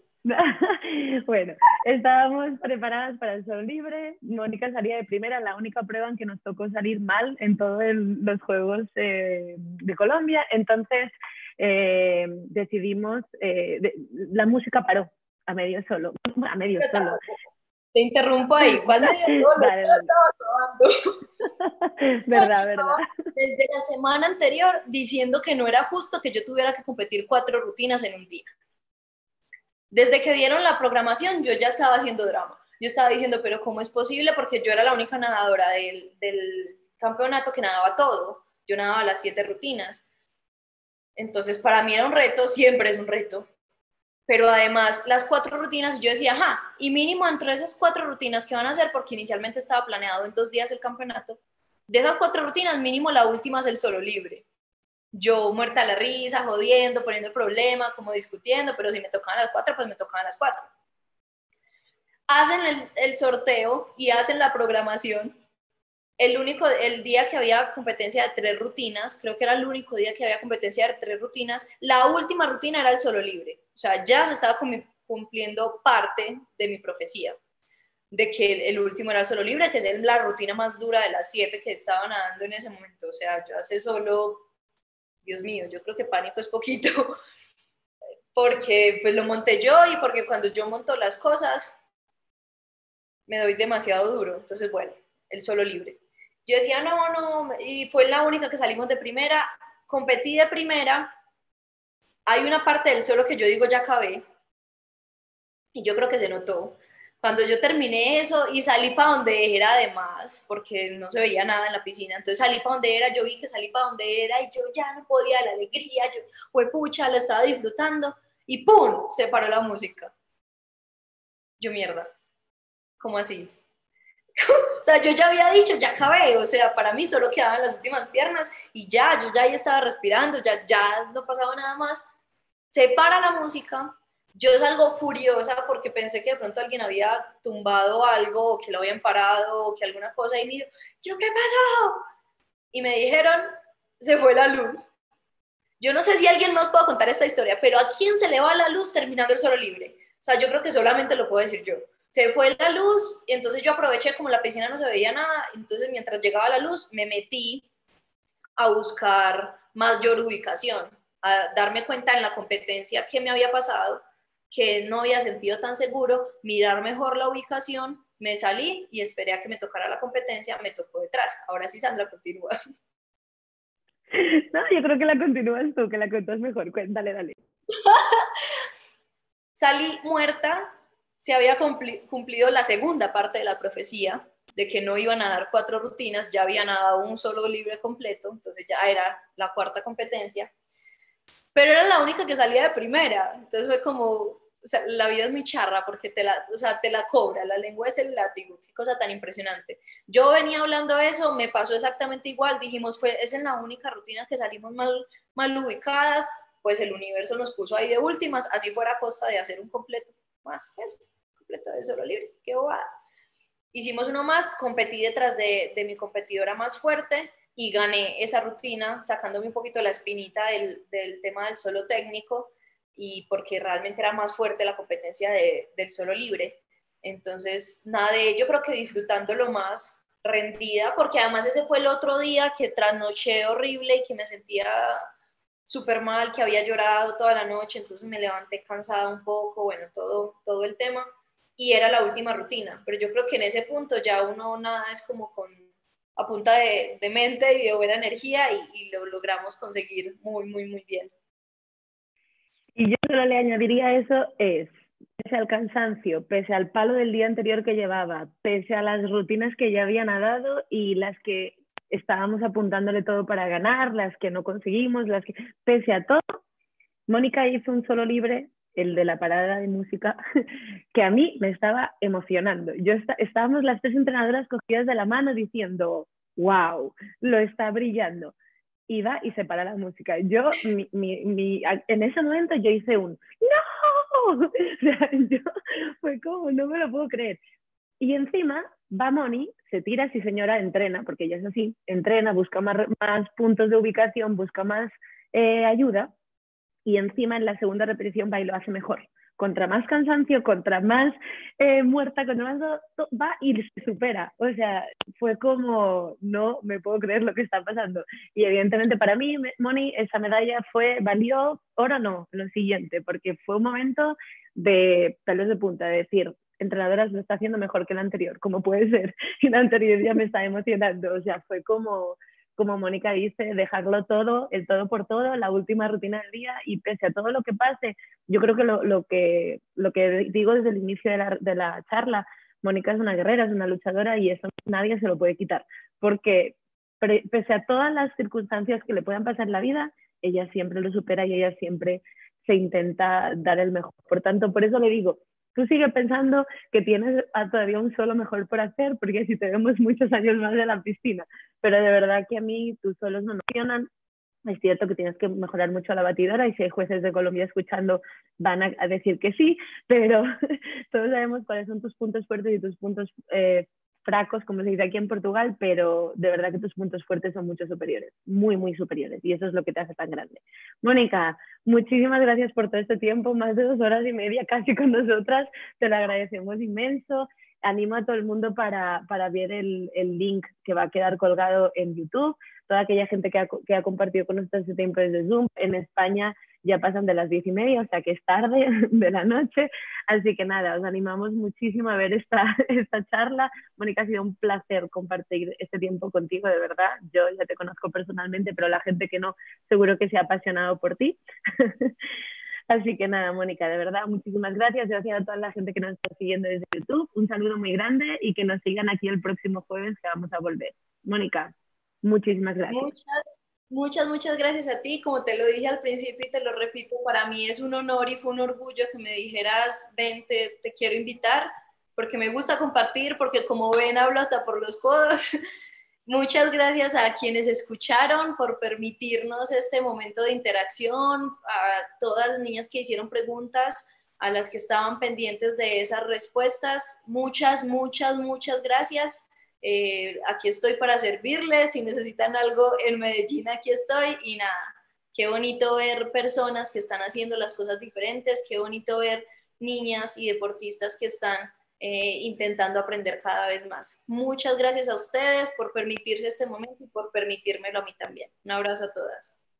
Mónica, muchas gracias. Un saludo muy, muy caluroso a Colombia y a nuestra Medellín, que la llevamos en el corazón. Gracias también, quiero decir gracias a Lorena por estar ahí, mi backup, que está siempre, siempre pendiente de que no se me caiga el internet. y gracias a toda la gente que, que, bueno, que ha podido hacer esto posible. Gracias a la Federación Gallega y a OVAR. Y para despedirte, Moni, abro los micros de todo el mundo, que seguro que las niñas están deseosas de darte, las niñas y entrenadoras, que están todas muy pendientes de darte un abrazo y un saludo muy caluroso. Muchas gracias, Mónica, por todo. Gracias a ti y a todas. Gracias. Gracias. Gracias. Chao. Chao.